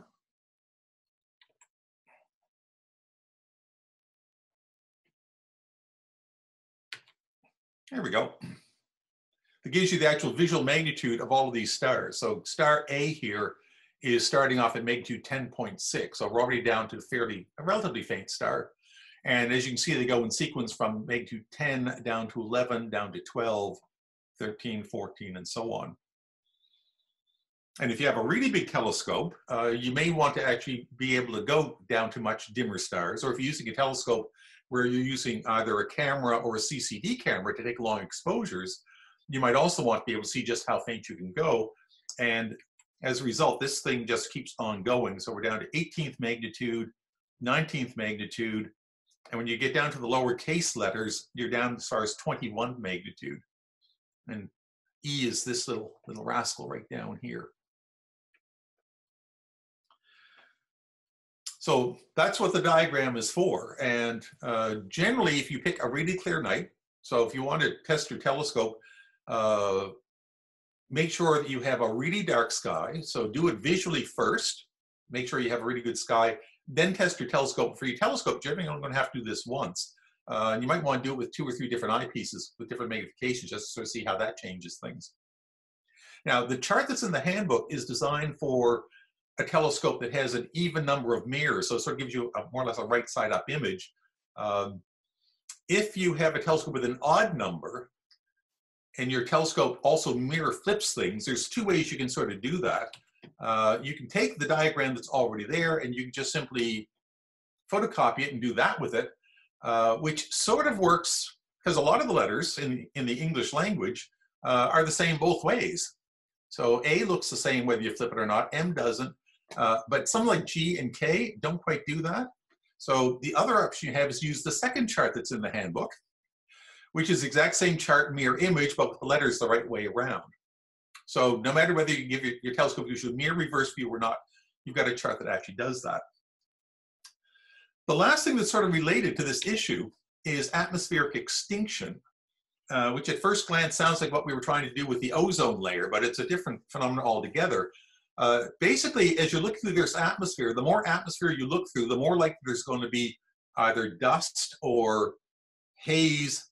And as a result, when you're looking straight overhead, you're going to get the best possible view of the sky. And as you get close to the horizon, things are going to get harder and harder to see because you're looking through more and more of the Earth's atmosphere. And there's a little table in the handbook that sort of shows that. And what I've done is I've turned it into a graphical form. And as you can see, from straight overhead to 52 degrees above the horizon, there's absolutely no real extinction because you're looking through a fairly small amount of air. That's one of the reasons why generally if you're looking for faint objects, you want to look for them when they're as high in the sky as possible because you're going to have the least amount of murk to look through. When you go to the next range of angles down from 36 up to 52, there's a little bit of extinction there. It's only 0.1 magnitudes. And you'll notice that Polaris at 45 from our latitude is actually there. Now, this can be a problem if, for example, you decide to go to, to the Caribbean for the winter where the North Sky is down, low, lower down in the sky, then if you can see visually down as far as magnitude six, you're going to have to back off a bit because of the fact that you're actually looking at it through a bit more murk. And you see the problem gets even worse because not only does the magnitude extinction get worse, you actually have to change your typeface to make it smaller so it actually fits between the lines. So from 36 degrees to 29 degrees of elevation, you're up to 0.2 magnitudes. The next range, which is from 29 to 24 degrees, you're up to 0.3 magnitudes. So now it's starting to become a significant issue, especially if you're looking for something that's right on the border of what your telescope is actually capable of seeing, or your eyes for that matter. Once you get down to between 20 and 24 degrees, it's up to 0.4. And then you have to shrink things again in terms of text but from 18 degrees to 20 degrees, it's getting up to 0.5. So by the time you're within 20 degrees of the horizon, you've already lost a full half a magnitude over what you would normally be able to see. Now, you would think that I'm just going to have to make smaller and smaller and smaller increments here. Fortunately, the section in the handbook is uh, very specific on the topic. If you're below 18 degrees, it's basically going to be greater than 0.5, but variable. so it's going to be worse than half a magnitude, and the variability is going to be coming because when you look through that much atmosphere, you really have no idea what you're looking for. You might, for example, be getting light pollution off in the distance in one direction, but not in the other. You might be looking, for example, at an area that's got some smoke or other incoming cloud formations. But that's one of the reasons why when you're looking for anything, you want to make sure it's as high in the sky as possible. And if it gets close to being overhead, uh, that's going to be your preferred location for seeing things that are really, really at the limit for your telescope. And that's the end of my handbook talk. So if anybody has any questions, I'd be more than happy to try and answer them. So I think at this point I can just stop sharing and go back to Judy. Great, thanks so much, Pat. Um, we'll just give it another moment here, uh, should anyone want to ask questions. Um, just have a, I don't think Wayne has joined us yet, so I don't think we're going to get a librarian's report today. Um, but other than to, to say that obviously uh, the card is not being pushed out today.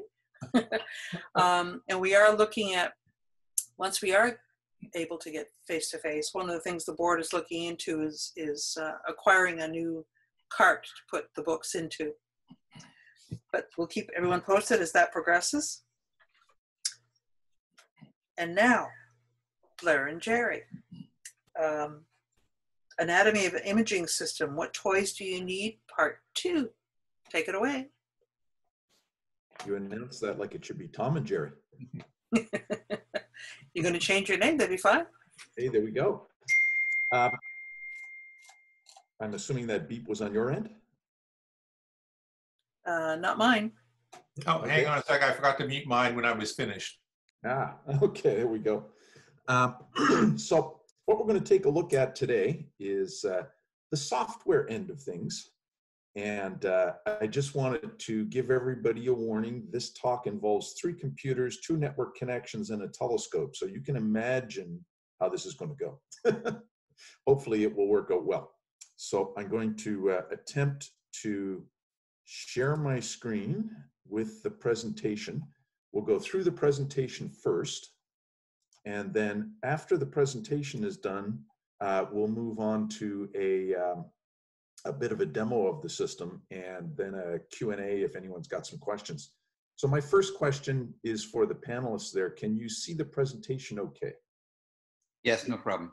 Yes. Okay, good. so the uh, the talk today, as I said, uh, is the second part of the talk that uh, has been broken up into three sections. So Jerry's got the next one, uh, and let's see here. There we go.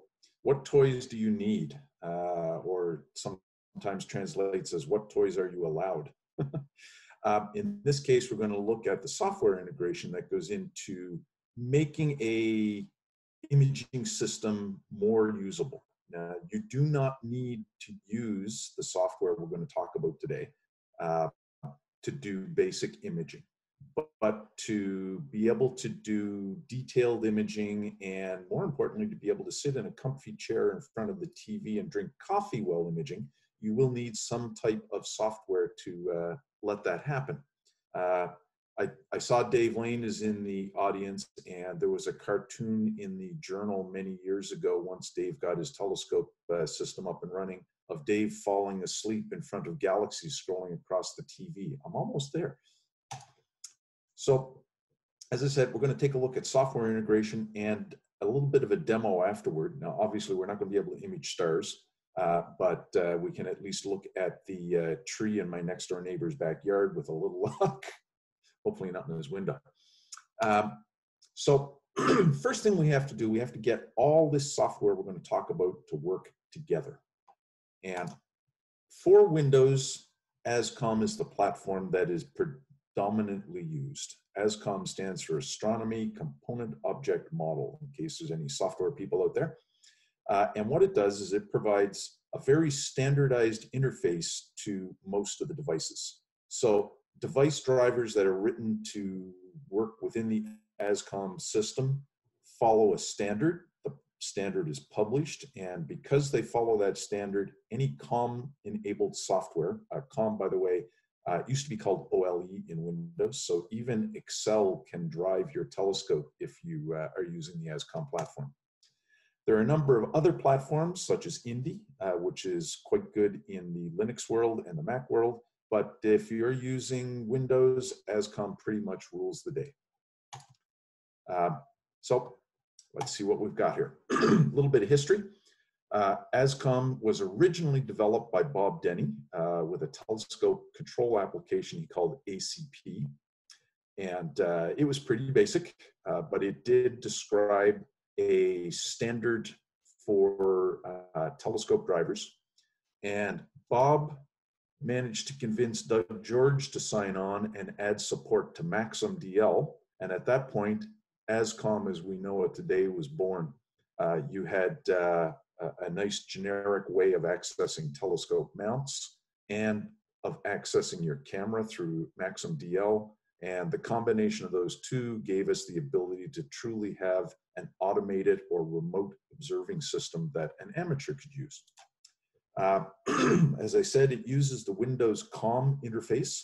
Um, I'm not going to get into the detail on that, but if anyone wants to ask questions later, I can answer some of them at any rate. And it provides a standardized interface to users. And we're going to get into that in just a little bit here.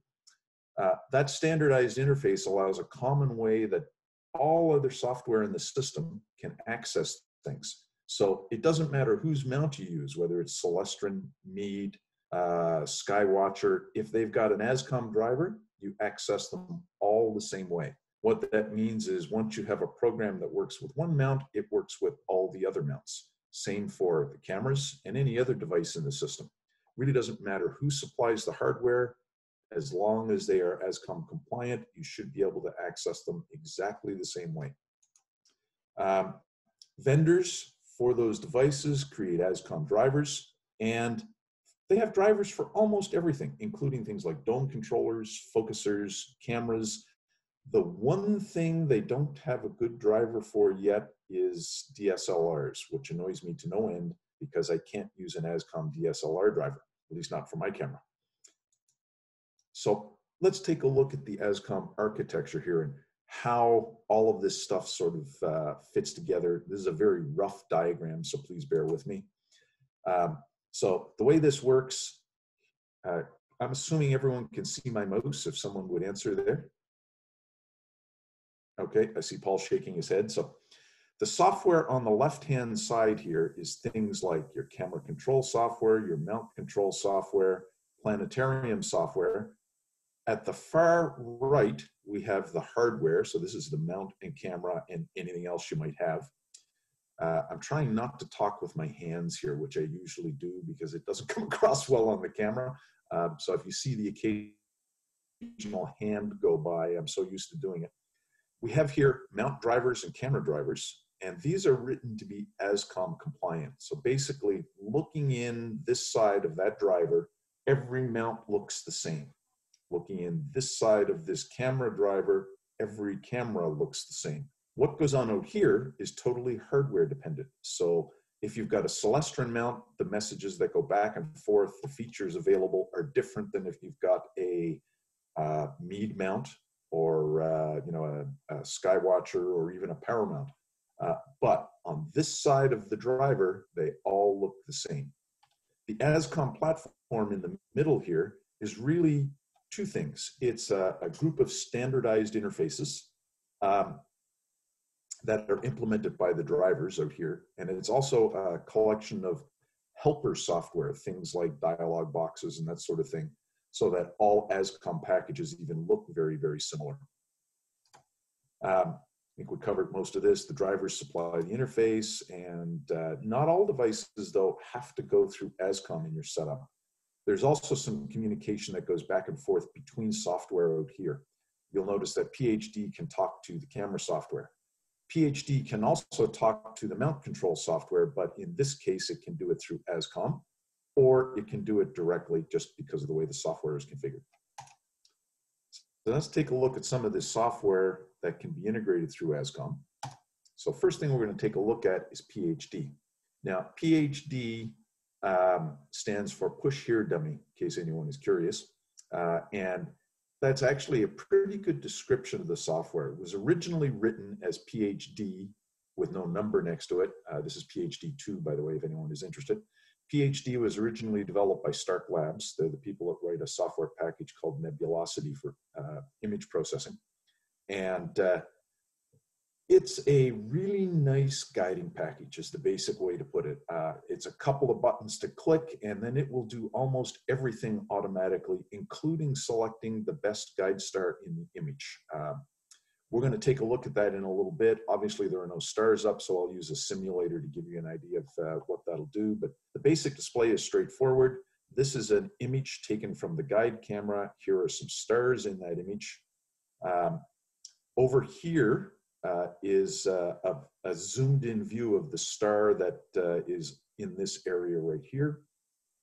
This tells you how your guiding is going. The little vertical bars that you see there uh, are uh, the actual corrections that are made. And this is the trace of error over time. This is a bullseye view of the same thing. So basically what you want is you want to have a very low guide error and you'd like to have all of the dots in this plot clumped near the center. Assuming you have that, that means you're guiding well and uh, you should get reasonably round stars. Next on the list is some telescope control software. There's a whole variety of them out there. This happens to be one I wrote that I use fairly frequently for doing mosaics. Uh, there are others, uh, but uh, basically they connect through that ASCOM driver and you can have more than one of them connected at a time. So I typically have Mosaic engine running when I'm doing a Mosaic, and I'll have ECU connected as well so I can see what's going on. Speaking of ECU, we also want some planetarium software. Um, it's not 100% necessary, but I'll tell you, it makes life a whole lot easier to be able to see where the telescope is pointed in the sky, assuming you're not out at the telescope. And that's where this comes in very handy. You can turn on the telescope interface with uh, this little button right here and get a view of where the telescope is in the sky. You'll get a set of crosshairs that moves around the sky with the telescope. And we also have, of course, camera control software. Now, the camera control software that I use called Backyard EOS, uh, there's a whole variety of different uh, control software out there. Uh, each manufacturer of CCD cameras tends to make their own, and those pieces of software are usually ASCOM compliant in the DSLR, DSLR world, unfortunately, there isn't a good ASCOM compliant driver, so you usually end up using a third party package. In this case, Backyard EOS, there's another package called Backyard Nikon, which covers EOS and Nikon, or covers Canon and Nikon cameras. And it's a pretty good little package. There are lots of other packages out there, things like Sequence Generator Pro and a few others that will work quite well. Um, so it's basically find the package that works the way you want to work and stick with it and uh, all will be well. So workflow for a typical evening under the stars. Um, this is a, a, workflow. It's a combination of my workflow and Jerry's workflow. Uh, mine usually involves the four letter words, so you'll see that come up. You check the clear dark sky chart or Astrospheric for suitable conditions. There aren't any, so you swear. Um, assuming there are, you drive out somewhere and set up your equipment. You do an initial rough polar alignment, adjust focusing using a Bahtinov mask, align the mount using reference and calibration stars, accurately polar align, which takes a little bit of time, and then this was sort of Jerry's uh, workflow then was to accidentally kick the tripod, lose power, start all over again and swear. That's for sure. Yeah. Uh, once you get all that done, you set up your guider and your guiding and slew to a target or plate solve the existing image for the target if you happen to be close by. Uh, configure your camera and image capture software and then watch the clouds roll in or swear. But assuming all that works properly, then you go look through Mark's scope for the rest of the evening. Uh, and because your system is running with ASCOM and a bunch of other software, you really, for the most part, don't have to do anything for the rest of the night. However, once you're all finished, assuming you're taking uh, dark frames, it's a good time to take them before the session ends. I rarely use them anymore. Um, I typically just take one each evening and use it as a hot pixel map uh, and pack up and go home.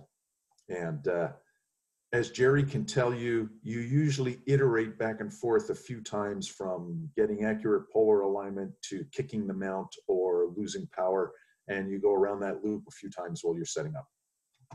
But that'll give you an idea sort of of the, uh, the uh, night's activity for uh, taking photos.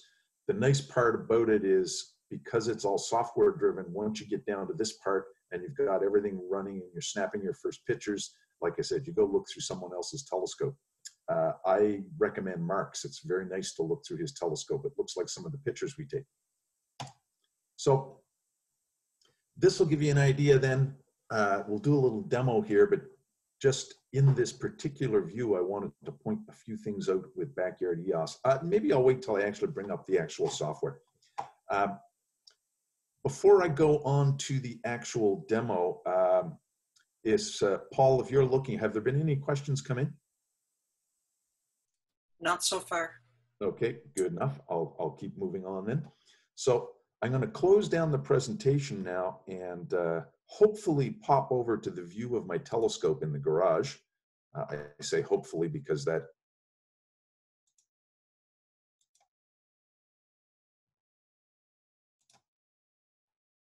Okay, now people should now be able to see my screen.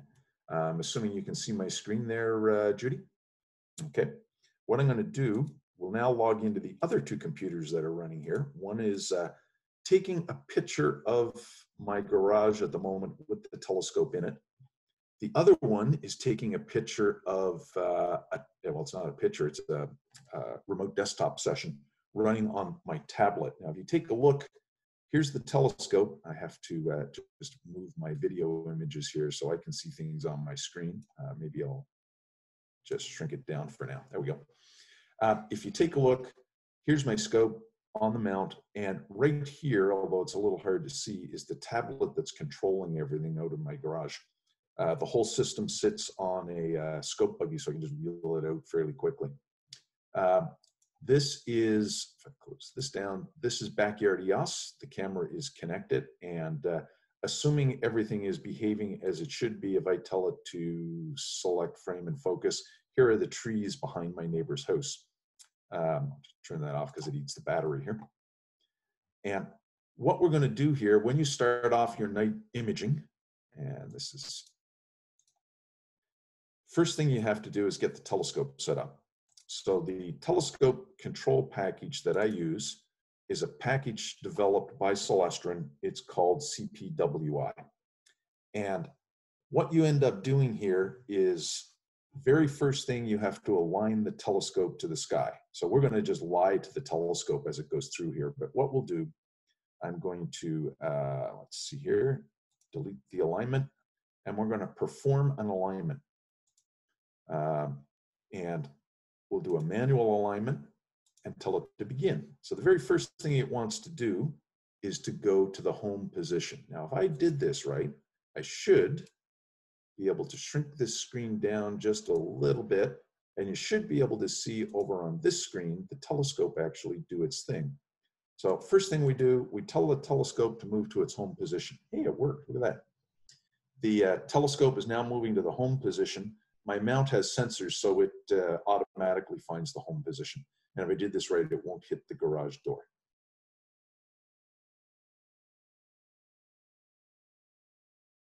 Yeah, it looks like I did it right. Good. Hopefully, anyway. So now the telescope is moved to its home position, and you can actually see that. If I move this out of the way here, you'll see this little green dot here, this little green cross actually shows where the telescope thinks it's pointed right now. Oops. So the next thing we would do from this point is select a few stars. So let's see, we'll select Alpheratz as one of the stars we tell the telescope to go there. And you can see if I move this out of the way again, the telescope is moving and it will move over toward Alpheratz. If I move this down a bit, there we go. Now, once it gets there, what you have to do at that point is you have to use these controls to center the star in the, oops, now, in the image that you would get from the camera. Now, as you can see right now, the camera is just looking at my garage door. There are no stars, but you get the idea. Once that's all centered up, you could then click the next star. After you go through about four stars, the telescope control package usually has things pretty well in hand and it will tell you that you have aligned, oops, it will tell you that you finished the alignment. So I'm just going to uh, lie to it and tell it that we have finished the alignment. Uh, it'll probably complain at me here. No, there we go. Let's me say the alignment is complete. The next thing you'd want to do is to polar align. And in this case, that's actually fairly straightforward because Celestron has a really, really nice algorithm for doing polar alignment. And it works this way. We're going to go to a star. Oops, let me blow that up full screen again. We're going to go to a star in the south. And so if we come down here, so here's the sun as an example, right? But we'll pick a star. You usually want to pick a fairly bright star. Uh, and you want it down somewhere near the celestial equator. You don't have to use the southern stars, although they work the best. So if we, for instance, were to pick, um, I'm just going to arbitrarily pick a star. It really doesn't matter which one. We'll try Aldebaran here uh, and tell it to go there. And if I did that right, hopefully the telescope will whack off anything.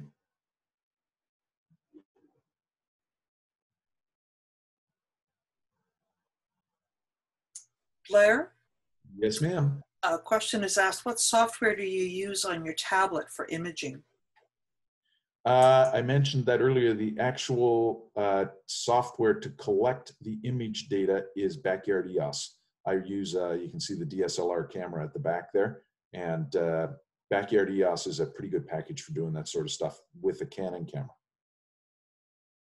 Thank you. So now the telescope is moving to the southern sky. Uh, in actual fact, in this case, it's just moving to the back of my garage. Uh, we could probably go a little further south, but for now, we'll use that. South would be back here in this case. And now what we would do at that point, the telescope knows its way around the sky, but if you select all star polar alignment, once it comes up, uh, oh, it wants more stars for my model. So I'm gonna just explain what would happen here. It will do a go to to the selected star, but it won't go right to the star. It'll go to where the star would be if you were properly polar aligned. Then what you do is you simply adjust the mount in elevation and azimuth until that star is in the center of the crosshairs on your camera and you're done and you are polar aligned very accurately, usually within about an arc minute or so. And uh, it takes about five minutes, if that. Um, usually takes me more time to walk out to the telescope than it does to actually get it polar aligned. Uh, so uh, I, I heartily recommend some of these software solutions for polar alignment. By the way, anyone that has a Celestron computer controlled mount, you do not need this software package to access this. All-Star Polar Alignment is actually built into the mount software. Now, let's see here. If this works properly, I should be able to zoom back in. There we go. So that gives you an idea of how you can control the telescope and move it around the sky through ASCOM. We can also, at that point, control the guider. Uh, so what I'm going to do here, I'm going to run through a connection to the guider. So basically all I've done, I've told this to connect up to the equipment. As you can see, I'm not connected right now, and I'm not actually going to connect to my camera. I'm going to connect to a simulator, just so you can see how this all works. So what we're going to do, we're going to connect to all the devices. And uh, once it has done so, now it's connected, camera's connected. There we go. So you would then tell the camera to start taking exposures. So I'm going to select, once it shows up here, about a one second exposure. And if I simply tell it to start looping, as it's called, which is just taking a bunch of exposures, you will see from that, that uh, here's the image with a few stars in it. All you have to do to get things up and running is select a star. Once I select a star, it shows up over here in this display. And from there on, if I click guide, which is this, right, that star uh, will, once it finishes, there we go, it's actually now calibrating. And if you were to look, and you, uh, we might be able to here, let's see, probably won't see any of the motion because it will be very tiny, but it's actually moving the telescope in small increments and it's measuring which way everything moves. Uh, it's doing that so it knows which correction moves in which direction. Now, since I'm using the simulator, this calibration will fail, uh, most likely here, because of course the, the, uh, the simulator doesn't actually move, uh, at least not in the mode I have it. You can actually set it up in a mode where the simulator will move and let you test everything. I don't have it in that mode. So what PHD is going to do once it has finished calibrating is it's going to attempt to keep this star on those crosshairs. As I said, this calibration will fail, so I might as well just stop it because it'll go forever. Um, and it will keep that star centered nicely in the crosshairs the whole time you're taking an image. The next piece of software we're going to want to look at is the actual image control software, or the camera control software, I should say. And the software that I use, as I said, is called Backyard EOS. Most of these pieces of software work in a very similar way. So I can connect and disconnect from the camera. Because I'm using a DSLR, it has a video mode or a live view mode, and I can use frame and focus for that, and it's great for trying to get things in focus originally. um, you can also move around targets like the moon and see it in real time, which is what we'll do on the uh, lunar observing evening, hopefully tomorrow night, but we'll have to see how the weather is. Um, on the imaging tab, however, what you have here is the ability to set a whole variety of image plans. So for instance, I can take, in this case, seven exposures with bulb setting on my camera. I don't happen to have bulb turned on at the moment, so we'll take uh, a bunch of settings with, uh, oh, I don't know, uh, let's say uh, hundredth of a second exposure. You can, if you are in bulb mode, uh, my camera's not set to bulb mode at the moment, but if you're in bulb mode, you can set the duration of each exposure. So I could set this to five minutes. Uh, this is in seconds, so five minutes would be 300 seconds. I can set the ISO I want to use. So for instance, I can use ISO 800. And this pause here is the delay time between, uh, let me just turn on one more here, a sec. Okay, so this pause that you see here is the delay time between this step in the imaging and this step. So if you were using multiple filters, or in my case, since I'm doing a mosaic, I would want to make sure that my mount has time to move to the new target and stabilize you set a delay parameter in here. So you might set 60 seconds here for the mount to actually move and acquire the next target. So you could actually set up an imaging run of multiple targets in one night. Um, one thing they did not do well with this software, and I've asked for uh, changes to it, we'll see what happens, is this target name is fixed for all of these imaging sessions. So if you select uh, M42 for your first target right here, and for your next target, you were to try and do M1, the target name will not change, unfortunately. So I usually leave it blank and I just separate them by time. Um, in this case, I'm connected to my camera via USB and I'm saving images both on my PC, the tablet out of the computer, and my actual camera card. I almost always do that. And the reason being that uh, sometimes the connection to the computer will fail or the computer will crash and do something funny. And if it happens to corrupt the hard drive or the SD card in the uh, computer that I'm saving things to, my night's data is not lost because it's also on the camera. Always a good uh, thing to watch out for when you're uh, doing some of this stuff. And I think that is pretty much what I wanted to cover. Um, see here, so you can see where the telescope is at the moment, still pointed at the ceiling. Uh, if anyone has any questions, I'll be happy to answer them. And uh, if not, we'll move on to whatever the next talk is there. I have to stop sharing my screen first. There we go. Okay, uh, any questions? That looked pretty good, Blair. Thank you. You're more than welcome. You get to do it next time. I know. For Mac, for Mac users. I do have one question for you, Blair. Um, where is it that you, if you wanted to, to view, say, M42 and then M1, where do you set up that list of things you want to actually look at? Which software does that? Um, as when you say to look at, do you mean which software moves the telescope to those targets? Yes, if you want to take a bunch of exposures of M42, then move the telescope to M1, then move it to M35.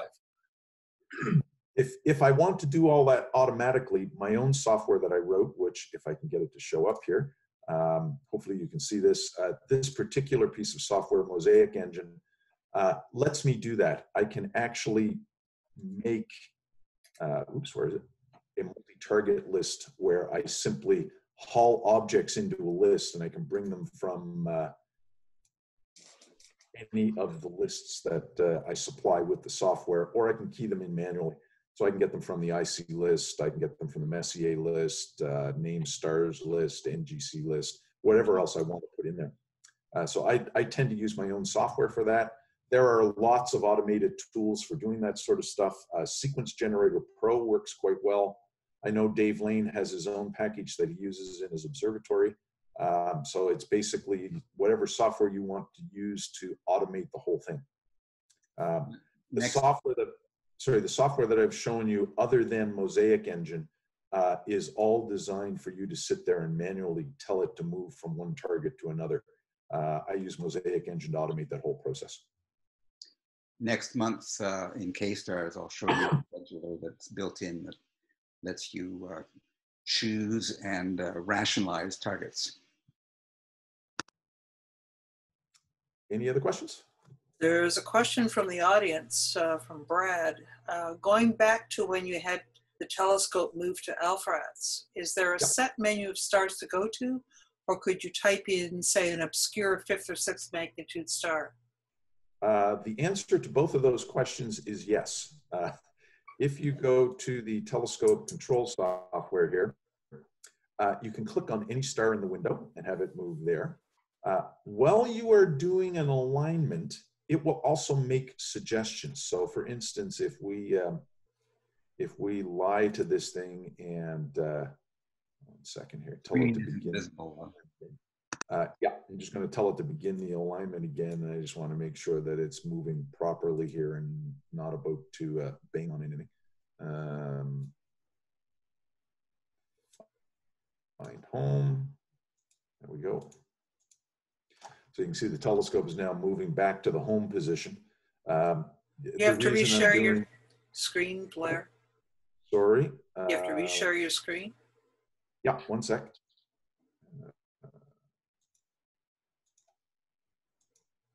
There we go. You see it now? Yep. Okay, so the telescope is moving back to the home position. Once it finds that home position, um, and uh, it'll have finished it here in just a moment. Okay, now at this point, you could click on any star in the sky to begin the alignment process, but you can also select from this drop down. So it'll give you a couple of stars in the southwestern sky, a couple of stars in the northwestern. Uh, you get the idea. Um, oops. It will allow you to basically move in four quadrants in the sky southeastern, southwestern, northeastern, and northwestern, and you can select from those stars as well. It's usually a good way to go because it selects fairly bright stars. Uh, the problem with that is the star may be in a tree, uh, at least from my driveway. So typically what I will do is I will usually use the suggested stars and then see if I can see it in the camera. If I cannot, then I'll usually just click on a star nearby in the graphical interface. Um, so, you know, it'll say I'm right here right now. And if I don't want that star, I could easily click here and tell it to go to that star. Uh, when it comes to polar alignment, the software is a little less forgiving. Um, what I mean by that is while you're aligning the telescope to the sky, I could tell it to go to this star and find it still in a tree. Then I could tell it to go to this star when you're doing polar alignment, you only get one chance. So you can click all star polar alignment and you can tell it to go to a star from the drop down list, or you can click on a star. After that, if that star is in a tree, you are, uh, to put it quite bluntly, screwed. You have to go all the way back, turn off the telescope, redo everything. It's a bit of a flaw in this software. Um, it's uh, a flaw that they are correcting in the next iteration. Uh, hopefully that answered the question. And another question from uh, Terry uh, DeVoe. Oh, whoops, lost it. Second, let me get to the uh, chat. Um, I lost my chat. What happened? Here. I think I see it here. Um, He's asked, will software yeah. not automatically turn the camera to bulb mode?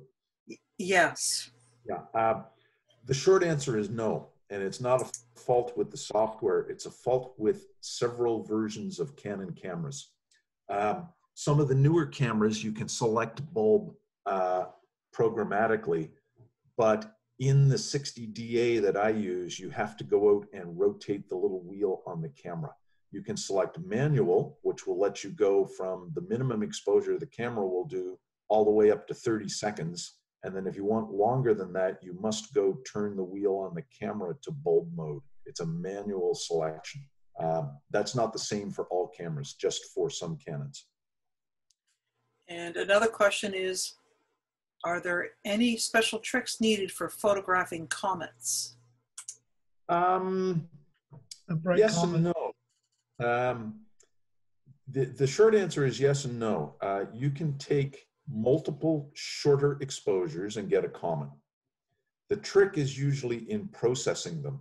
You can also change on some telescopes, you can change guide rates to actually track the comet. Uh, comets don't move at the sidereal rate for the most part. Uh, so telescope tracking, you could track, for instance, using PHD and have it follow it, which would leave slightly trailed stars. So what I usually do is I take shorter exposures so I get tight stars, but then I can combine all those exposures and get effectively a long exposure on the comet. Uh, and if you do that with a median combine, all the stars disappear. Then you can do another combination to get good stars and put the two together and get a nice image. A little bit of work, but it works out pretty well. Any other questions? Aside from Dave Lane yelling at me to share my screen? Thank you. She's on the computer right now talking to somebody. Thank you. I have a feeling we have a grandchild down at the bottom of our stairs. Uh, that's entirely possible. Very much. But in any case, thanks, Blair. Uh, I don't see any other questions under Q and A or chat. So thank you so much for your presentation. No problem. I'm impressed all three computers kept working the whole time. Oh, hey, the stars are aligned, so to speak. Ooh. Um, Paul Heath, you're up next with a youth activity and a really cool one too on how to make stars.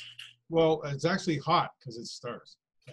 Okay, now you have to share your, your screen Oh, uh, down at the bottom. sure.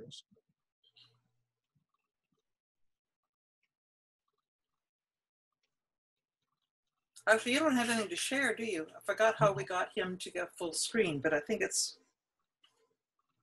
No, I don't have anything here I can share other than the screen you're on. uh, I got my vid, should my video come through?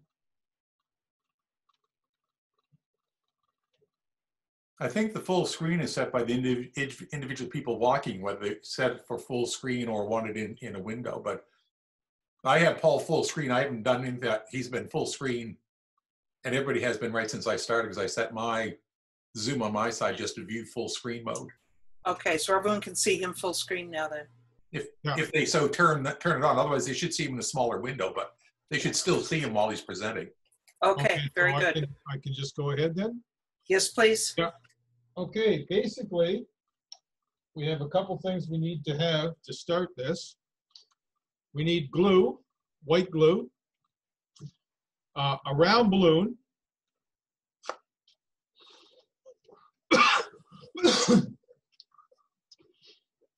That we can blow up to, uh, okay, it just disappeared.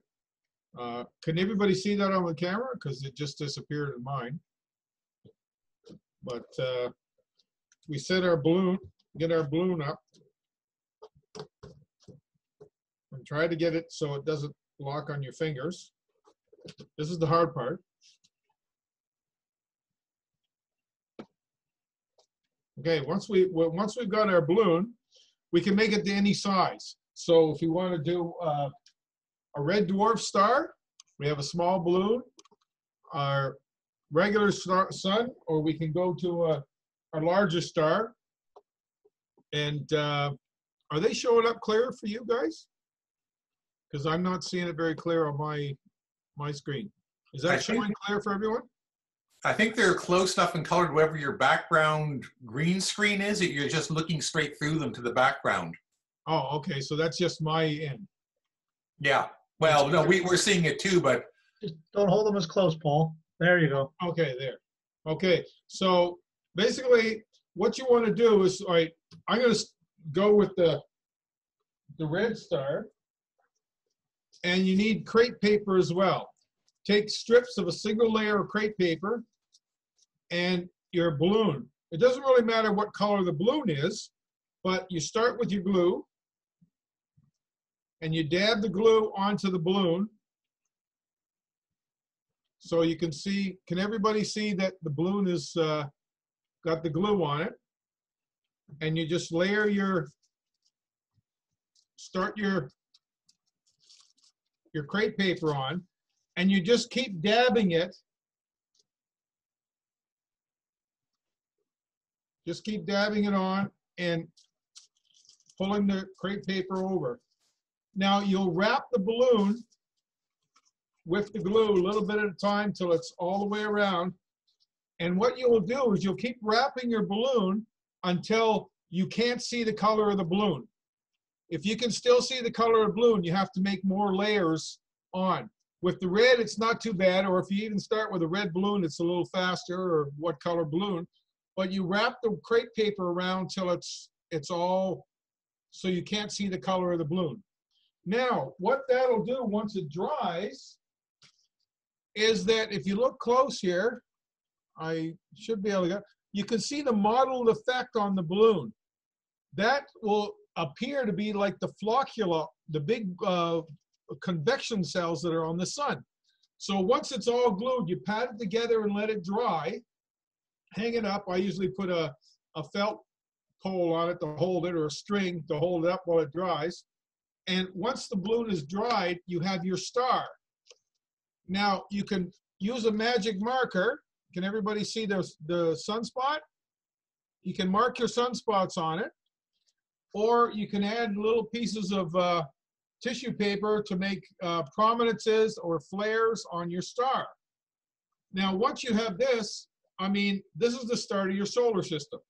So next time we'll look at adding the planets to the solar system. But the, the trick is to glue your, your paper a little bit at a time.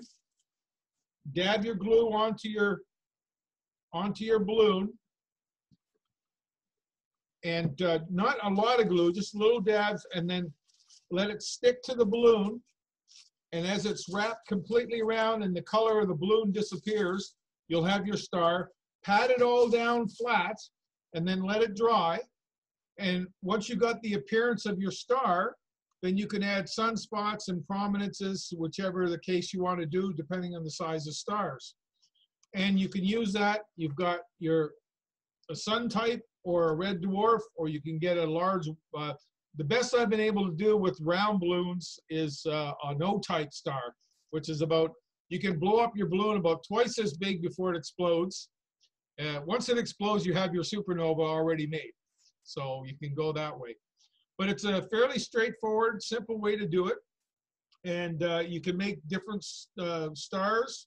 And the what I like with this and why I use tissue paper is that once the glue dries and the, and the tissue paper is on the balloon, you can you can get the the the appearance of a real star. The floccula, the the the convection cells appear as the little little clear and dark patches on your balloon, and then you can put your sunspots in, and you can make it as realistic as as uh, fairly realistic as your model, and that'll give you a good idea of, of uh, you can talk about uh, how the sunspots will progress across the sun, and uh, you can go into uh, detail with a model that looks like a star. So it's a fun little activity. Uh, kids can do it, adults can do it, and it's great for the classrooms as well. Um, I've gone into the classrooms over a couple day period and have them build the stars the next day, and then we'll work on our on our planets the next day. So it, uh, it's a great way to start. It's a great activity. If you're cooped up in your house, you can make a whole bunch of stars to brighten up your day. Okay, that's pretty well it for me.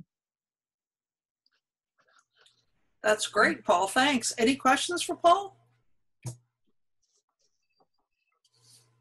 Remember, you use white glue. That's the best. Uh, I've tried. I've tried heavier glues, and when they dry, they tend to pop the balloon. So you want to want to stick with the white glue for this.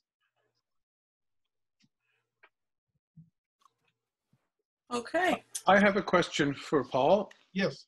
Dave here. So I used to use uh, balloons in classroom presentations. I, I used to do this thing, the colors of the stars, and I would take different balloons in with different colors and blow them up. And I got shut down one time because there was a kid in the school with a latex allergy, and they said I couldn't use balloons. Have you ever come across that? Uh, no, I no, I haven't. But uh, I know what you're saying. Uh, I've had uh, other ones that are uh, allergic to other objects I've used for demonstrations. So, so if you have the opportunity to contact the teacher in advance, I've done that a few times. But uh, Yeah. I haven't run into the latex one, but I I am aware of it because I work with people with with that problem. But Are there can get latex? some? I, I think you can get balloons that aren't aren't latex. Yeah. But you, you'd have to be searching through the specialty stores for that. Yeah. But the, the idea is to get around the the round balloons because the long balloons just doesn't have the same effect. No. But, um, I know you can get non-latex because we use them at the Discovery Center once.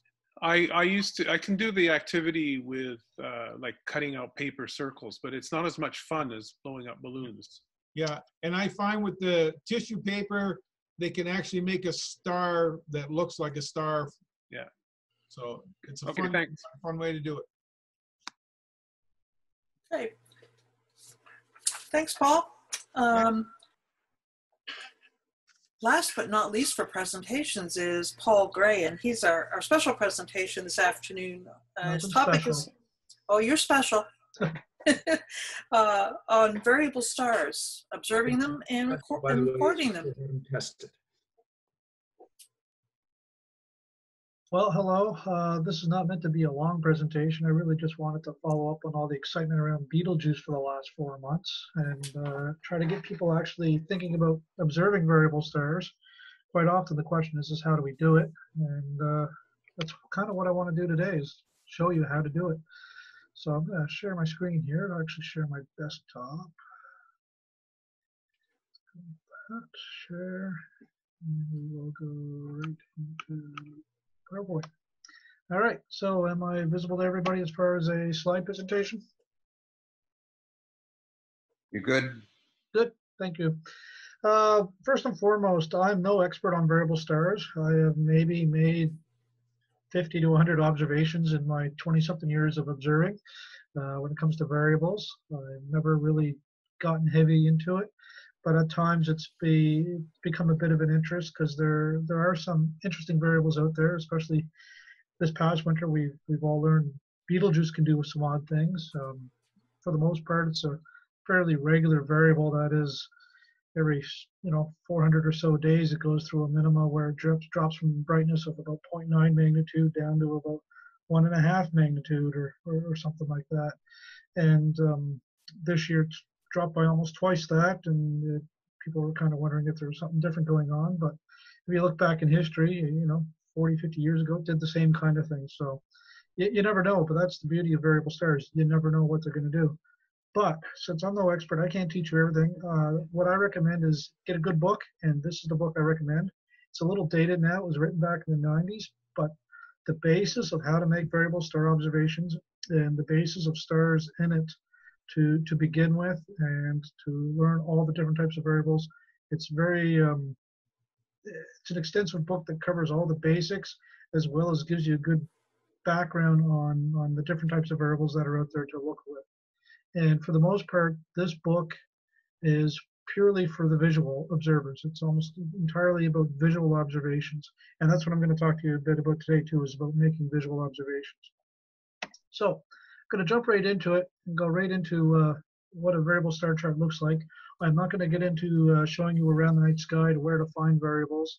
I'm going to assume most of us uh, who are here have had the opportunity to be under the stars and learn the constellations and those who are newer and are interested in doing this, um, this is a good reason to learn the constellations is because because quite often variable stars, the brighter ones that are ones that you can see with just your eyes or with just binoculars, are easily found on maps provided by the American Association of Variable Star Observers, which I'm going to show you some of their information as well here in a bit in the website.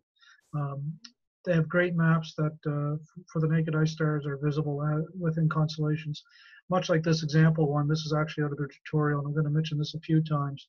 But um, the tutorial uh, has, has a great set of maps and a good basis of, of uh, how to how to do things as well. So start, starting with the basic map, this is the constellation of Auriga. Uh, you can see the just above right of center, there's only one star with a name on it. It's uh, Capella. I'm hoping it's legible to everybody. I'm not sure how well the digitally things go through here, but um, Capella is the brightest star on the map. It does not have a number by it. You notice there are four, five other stars that have numbers beside them. And then there are a number of other dots on the on the map as well. They're all stars. And there's one uh, star at the lower right end of Auriga there has the Greek symbol by it, and I can't quite make out what it is uh, even on my screen, so just a little too fuzzy. But uh, what you're looking at is the constellation Auriga. You've got the one bright star named Capella. Those other stars that have numbers, they're, they're not names or designations. Those are actually the magnitudes of those stars. So those are your comparison stars. They will not put dots in on a chart uh, for magnitude. So uh, 119 there for the brightest star to the left of Capella is actually 1.9 magnitude. Um, and then below that is a, the 2.6 is actually for representing a 2.6 magnitude star, and so on until you get down to the far right where it's a 4.3 magnitude star. The target star or the variable star for a chart that you're looking at or that you're looking to locate is always highlighted by the, the cross, the crisscross hairs there, which is just to the lower right of Capella, and that's labeled as the variable star. So that would be the star you're going out to find. Uh, other stars I mentioned down in the bottom of the chart, there are other stars that are either smaller or bigger. They're not labeled. Sometimes they will have Greek symbols on them, but that will be it. They will not have the uh, numbered system in on these star charts. And just like in the sky, um, in general, the brighter stars on, stars on the map will be bigger dots. So the bigger the dot, the brighter the star. The smaller the dot, the fainter the star. Pretty intuitive. Intuitive. It's um, it's not rocket science, but uh, it does take some uh, learning to get used to. You notice the directions on the map, north is top, south is at the bottom, west is to your right, and east is to your left. Again, when you're looking up the sky, if you're standing facing south and you look up at the sky, west is to your right, east is to your left. Um, so depending on which way you're looking at a map, if you're looking at, at it as we traditionally, do, north north is up. Because you're using your own eyes, you're not using any reflections in a telescope or refractions, then east is going to be to your left towards the eastern horizon. All right, no questions? So I don't see the question and answer thing, so I'm assuming there's no questions now, Judy. I'll move on. That is correct. So, getting into the, the whole meat of things, how do you make a, an observation? Now, I'm going to use Orion and Betelgeuse here as an example. Uh, this is one of the examples they, they use from the uh, the AAVSO, and by no means are these charts meant to be used for actually doing estimates. Um, you'll learn if you do any reading about uh, estimating Betelgeuse that Rigel, the bottom right of Orion, is actually not one of the good stars to do because they're quite different in color um, as well. So, but for the purpose of showing how to make an estimate, uh, this works. So we'll start with the, the diagram on the left. Uh, Betelgeuse obviously is quite bright. It's showing as a big dot there. That's the star we want to locate. And the two stars they're giving us to compare to is Rigel down in the lower right, uh, which is a 0.1 magnitude. And then um, the lower left star in Orion's uh, shape there, the, the lower left foot, is listed as a 2.1 magnitude. So in this case, it's quite simple. You're basically you're comparing Betelgeuse in the night sky to those two stars, and you're trying to figure out which one is it closest to. Is it the same as either one of those, or is it halfway between them? And in this case, Betelgeuse, the dot, and Rigel are the same size. So in effect, what they're saying is if you're looking at them in the sky, Betelgeuse and Rigel, if they're the same brightness to your eyes, then obviously Betelgeuse is the same brightness as Rigel. So if Rigel is 0.1 magnitude, which is a known steady magnitude, then you know Betelgeuse is 0.1. It's not the 2.1.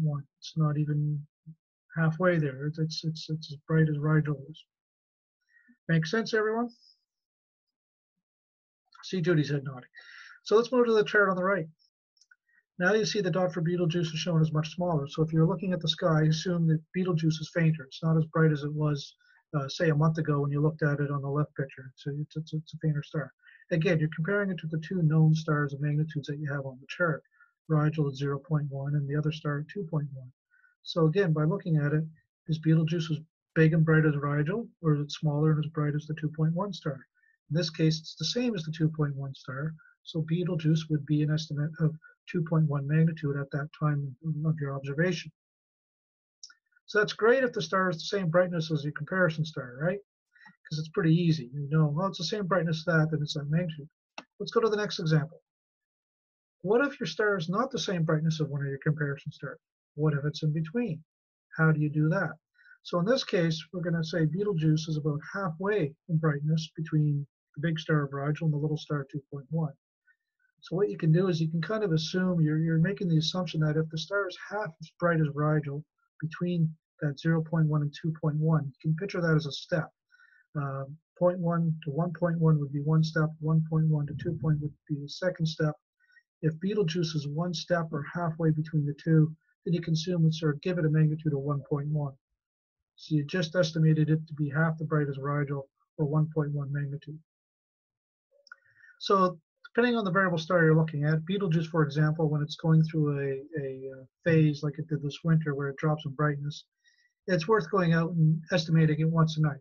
And if not night by night, then probably every three, four, five nights, you will probably notice a change. You will notice a step. Most beginning observers of variable stars, not just beginning observers of stars or observers period, but most variable star beginners uh, when you start estimating magnitudes, when, when you're really getting critical and looking at two stars and trying to estimate magnitudes, at best you'll be doing a 0.1 or a one-tenth of an estimate between brightness of stars. You can just, it takes a lot of skill and a lot of practice um, to say something would be less than 0.1 of a magnitude difference from another. Um, for example, in this case, you could break the steps into the two steps, one or 0.1, 1.1, and 2.1, and you could go with that. You could break it even further depending on how good your, your estimating skills are, your observing skills are. by saying, well, it's not halfway between the two. It's more about a quarter way between between halfway and, and Rigel. And if it's a quarter way, then it's half of a magnitude between that in that first step. So instead of 0.1 going to 1.1, you're only going half a step, so you'd be going to 0.6. Um, to try and break that distance into 10 steps or to break this 0.1 to 2.1 into 20 steps, it gets much more difficult. So a better chart with more stars um, and more comparison stars makes that easier. We will get into that in a minute. Actually, I'm going to back up for a second. Uh, just go back to that first chart I showed you. For example, here, if you're estimating that variable star, you have one, two, three, four, five stars with about a 2.3, 2.4 magnitude spread. So you have five stars, 2.4 magnitudes to, to, to uh, estimate in between to kind of compare that to. You can say, well, it's not as bright as a 1.9, obviously. It's, it looks like it's somewhere around the 2.6. And you compare it to the 3.2, well, it's bigger than the 3.2. So you know it's not going to be 3.8 or 4.3. You can then compare, is it closer to the 2.6 or closer to the 3.2? It looks closer to the 2.6. It actually might be a little bit bigger than 2.6 uh, on my screen. So I would say it's a little more than 2.6, but it's definitely not 1.9. So now you have 0.6 plus the 0.1 to 9. So you have 0.7 magnitude difference between 2.6 and 1.9. How much brighter is that star than 2.6? I would say 2.7, maybe 2.8. It's hard to say from these graphics. It's different when you're doing it from the stars, because the stars, of course, twinkle, they have color. Color can play a big role into it. Red stars are hard to, uh, they're very hard to uh, estimate because the longer you look at a red star, your eye will actually do funky things and make it appear brighter.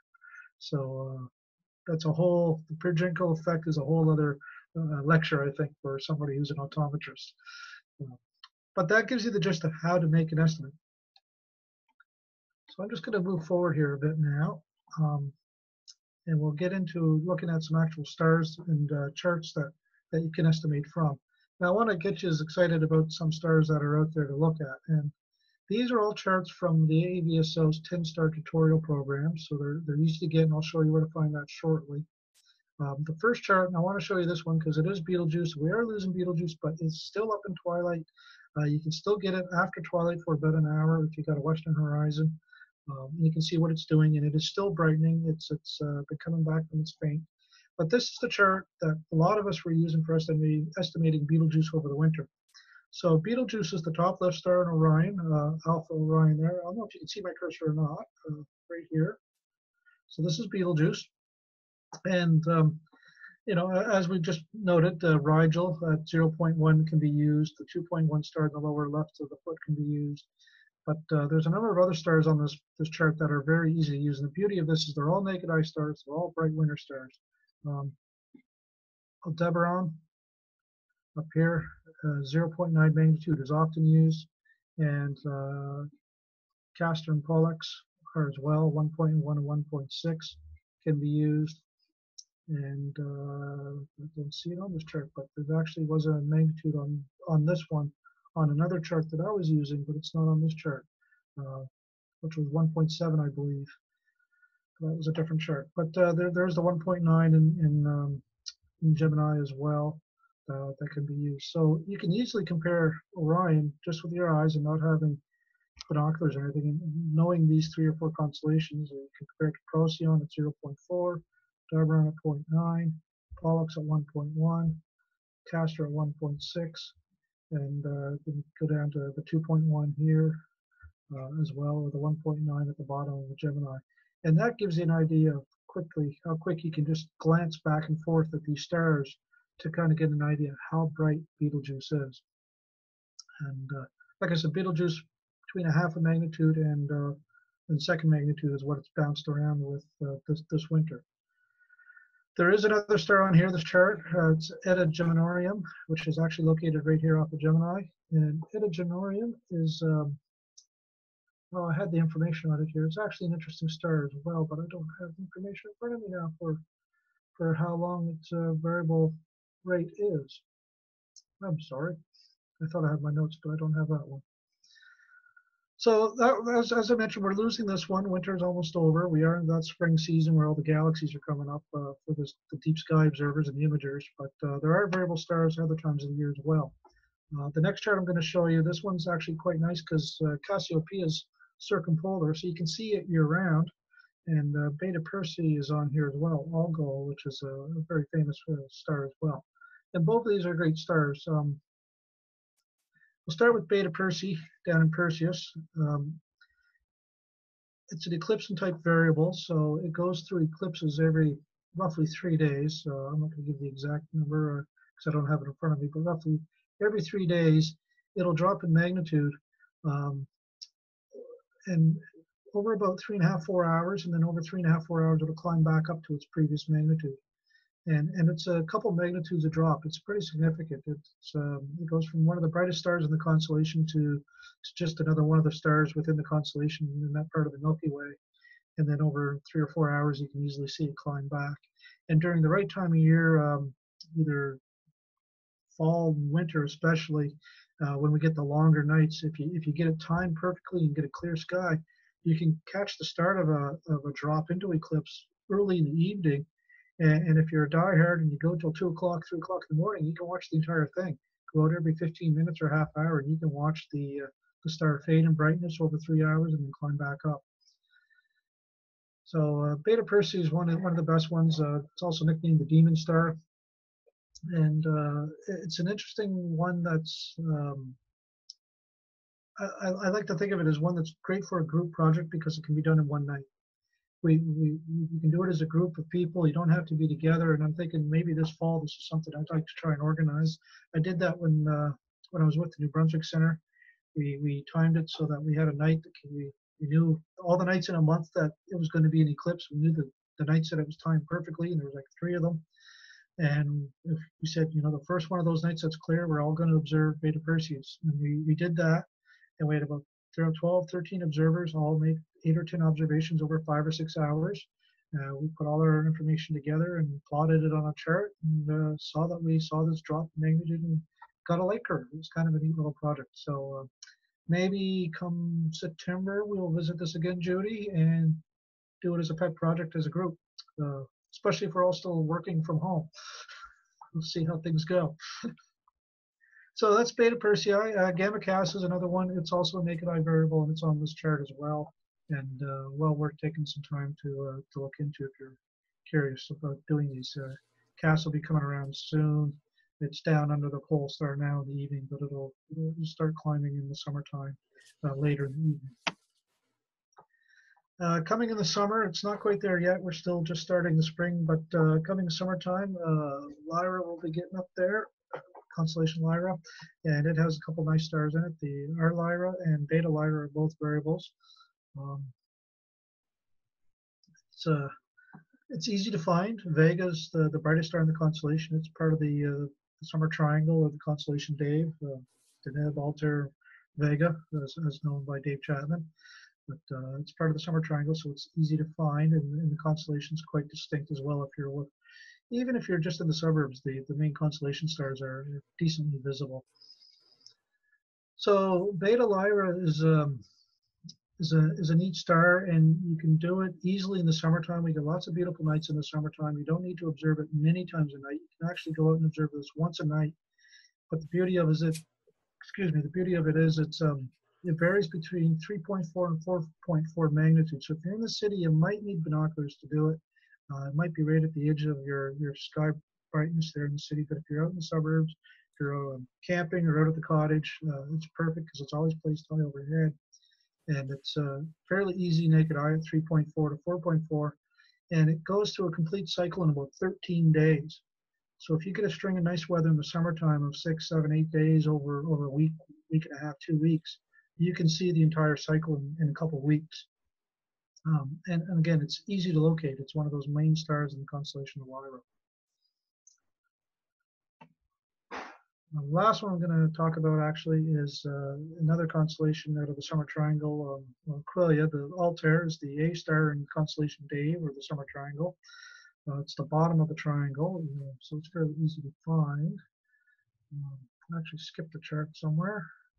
but uh, we'll go on with this one. So in, in there is a, um, a neat star just below Altair called Eta Aquilae, and it's actually a delta Cepheid variable. Um, I don't think Dave Turner's tuned in. He'd be probably upset that I haven't mentioned, mentioned delta Cephei itself because that's his one of his favorites. But uh, uh, Eta Aquilae is a delta Cepheid variable as well. It again varies about uh, 3.5 to 4.4 magnitude, so it's easy to, to see. And you got two, three great stars all close together there on the chart. This is a fairly small patch of sky for the constellation Aquilia.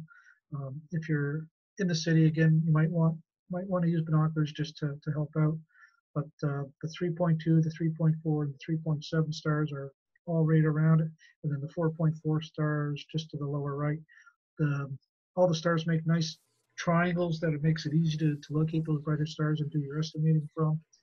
And again, with 3.5 to 4.4, it's an easy uh, star to estimate, and you have some great uh, comparison stars there. And uh, it varies actually. It's got a little bit of a quicker cycle. It takes about seven days, seven to eight days to go through an entire cycle. So you could go out if you're, again, if you're camping at the cottage and you do an observation early in the evening and another one at bedtime, or if you got to get up at uh, you know 5 a.m. to go to the go to the potty there for a break and it's still up, you can make a second estimate. Yeah, if you can get two estimates a night and do that over three or four nights over a week, you can probably get a decent little uh, light curve for this one as well. Um, the idea of getting a light curve for yourself is kind of neat to plot it just to see that change in brightness. But uh, in the end, the, the beauty of doing all this is variable star observing, whether it's visual or photometry, uh, like Dave Lane does a lot with the, the Abbey Ridge Observatory. It's all important. A lot of the data that uh, the AAVSO is gathering and scientists are still using, astronomers still use for, for studying light curves, is visual data. It's one of the areas in astronomy where visual observations are still badly needed and badly wanted. Um, it's, it's professionals don't have time to track all of the variables that are in the sky, and they rely on amateurs for doing that. So having said that, I'm going to flip over here and um, show you some stuff about the AVSO and what you can do once you make some observations. Uh, get to the AVSO page. You should all be seeing my desktop there, the, the main page for the American Association of Variable Star Observers. Is that up, Judy? Yeah, okay.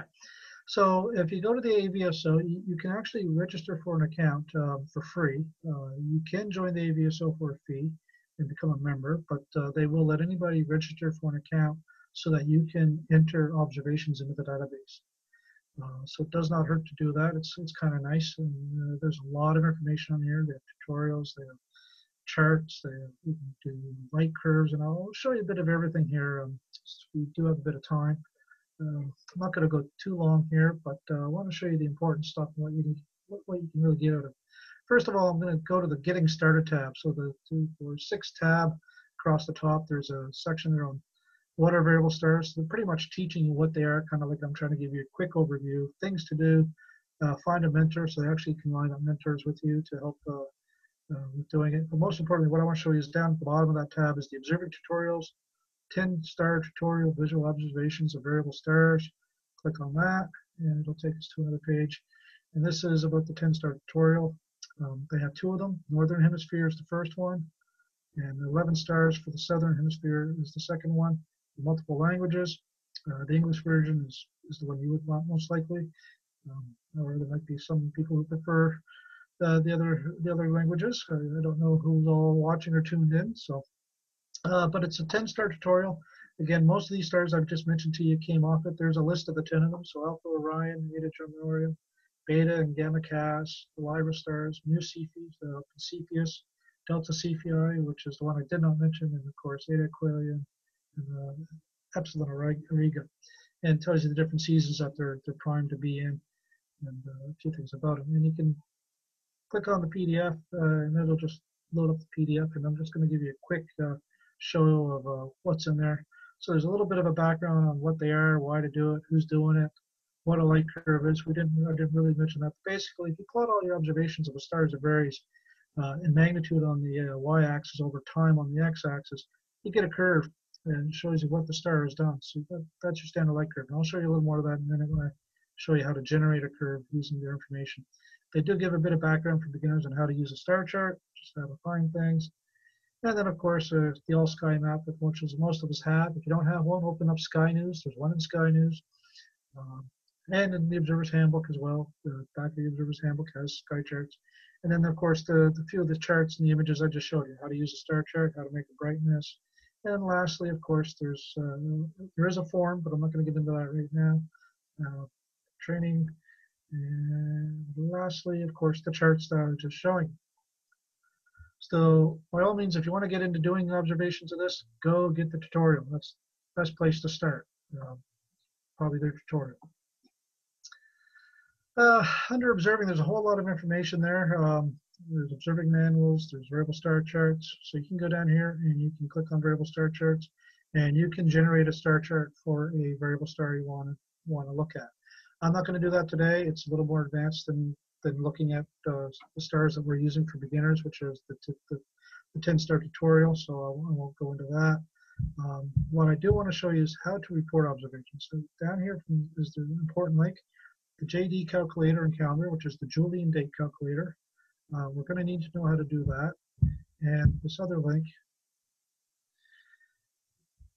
WebObs, uh, search aid and submit your data. We will need that to submit data.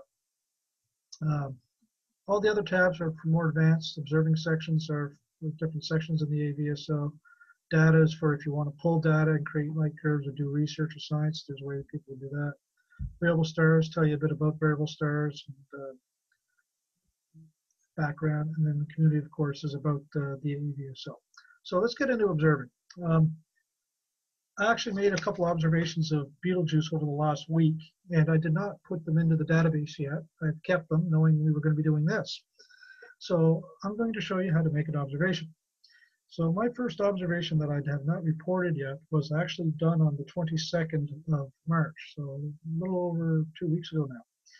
And I did it 11 p.m. Uh, at night, my time, Atlantic Daylight Time. So I need to input that into the observation uh, database. Now, if you go to the, the WebObs, you can find different ways to submit your data. There's submit observations individually, you can upload a file of observations, you can download your observations, there's a whole bunch of things. All I'm caring about is submitting my observation. And I'm going to do it individually just because, just say I have one, that's all I need to do.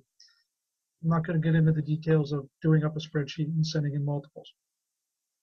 So under entering observations individually, it asks you what type of observation you're submitting. Click the down arrow, and what are you doing? Visual, CCD, photographic, DSLR, visual from a digital image. We're doing visual. I simply looked at the stars with my own eyes and said, how bright is it? So visual observations, and then you get a whole slew of things. Now, uh, one of the things I have in here is the UT time of observation in Julian date or year, month, day, hour, minute, seconds format. I find the easiest thing to do is enter the Julian date, but you need to know what that Julian date is. So I'm going to go back to that other tool for a second under observing, go to my Julian date calculator and start there. Uh, I always start there when I do observations because I know I need this. So what is the Julian date? Let's go look at that for a second about Julian dates. And there's a whole slew of stuff in here. But basically what it is is day zero began at noon on January 1st, 4701 that is BC.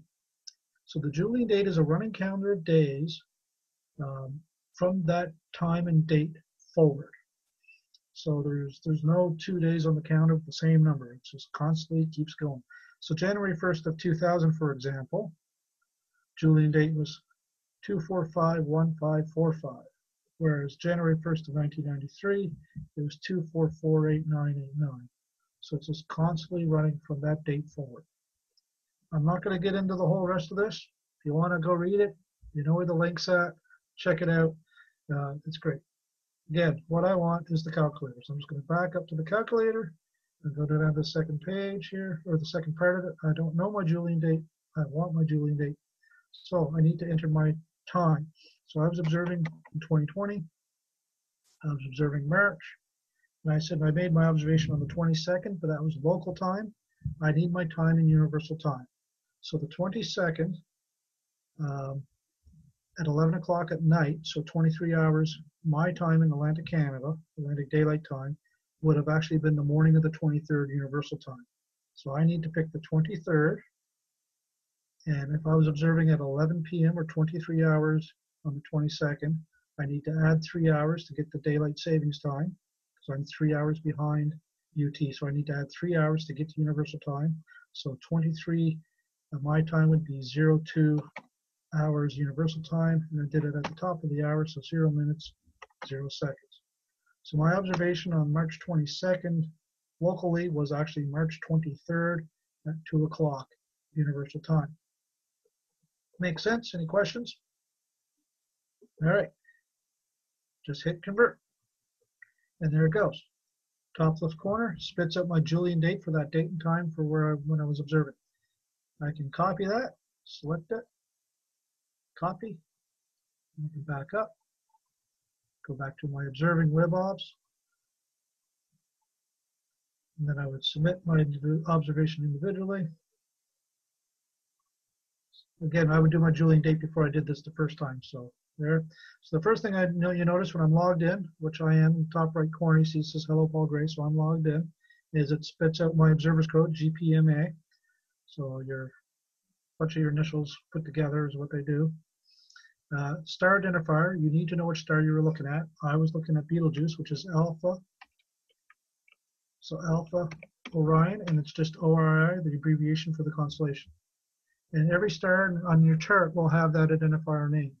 So I looked at Alpha Orion, and I go to my date and time of observations, and I just paste my universal date, or sorry, my Julian date in there. My magnitude estimate at that time was 1.1. My comparison star would have been the 0.9 of Beetle of uh, of uh, Alde- Aldebar- Aldebaran, sorry, and the uh, I think it was the 1.6 at Capella. My chart ID, the chart doesn't have an ID because I'm using the 10 star tutorial, so I just write in 10 star tutorial. And then there's a bunch of codes. And I really don't need any of these because that night was a beautifully clear night. But if you want more help, you can click on more help and it'll actually bring up a list of codes. So here's all your codes. So B, sky is bright. So you're still in twilight maybe, or there was a, maybe there's a all sky aurora if we ever have that again. It'd be nice to see. Uh, you could have light pollution if you're in the city, or they could just have a bright moon. U would be clouds, dust, smoke, haze. It happens. W is poor seeing conditions. Maybe you got one of those nights everything is twinkling. The object was low in the sky. L, near the horizon or obstructed. D is for unusual activity. Uh, fading flare behavior. This is an unusual activity of the star. The star appears to be doing something funny. Uh, it's going through changes quite quickly, for example. Outburst. Why? Maybe you're observing a, a, um, a recurrent nova or a um, uh, there's another um, short ter- uh, type of novas. Um, can't think the name of them now. It's not a full-blown nova, but it's like SS Cygni is, is a uh, uh, is a tetrastar that goes through four or five magnitude climbs uh, every every few years, and it's considered uh, kind of a nova, but it's not a full-blown nova. Uh, I just can't think of the name of it right now. Somebody out there can text it in if it comes to their mind. Um, K means you're not using an AVSO chart. Uh, comparison sequence problem or magnitude is uncertain. You're uncertain if you identify the right star would be I. And V, it's a faint star near the observing limit and you're only glimpsing it. So those are a bunch of the codes. And in my case, we had a beautiful clear night and I had no problems. So I don't need to highlight any of those codes. More comments, you can add comments if you want uh, to your observation that aren't covered by the codes. Normally, it's pretty straightforward. I fill out these first three sections in my comparison stars, the tutorial. And I think I've used the bright moon one a few times, and that is it. And Paul? then after all that, yes, Before you submit, Yes. um, the second comparison star, do you actually put the magnitude versus the actual name of the star in there? no, you just put the uh, comparison star brightness. Okay. Uh, quite often, you're doing it from the chart, so I'm telling them what chart I'm on, and they Huh. will they will go by the star that's on the chart because none of the stars on the chart have names, right? So you just estimate, or you tell them which star on the chart you're using. All right. Thank you. Uh, so then you just hit submit. And you hope your internet stays connected, everything rolls, and boom. Oh, I Did I spell it wrong? Well, that's interesting. Did I put it in all caps? But I did. Alpha Orion. That again. 1.1, 1.7, 1.6. There we go. Tutorial.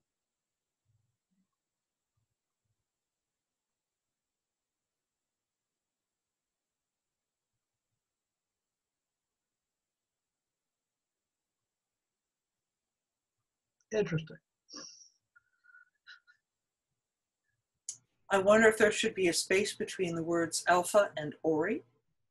I don't think there used to be. It's maybe though. Maybe. Again, I haven't done one in two weeks because I've been saving them up for this. So 1.1, 1.9, 1.6.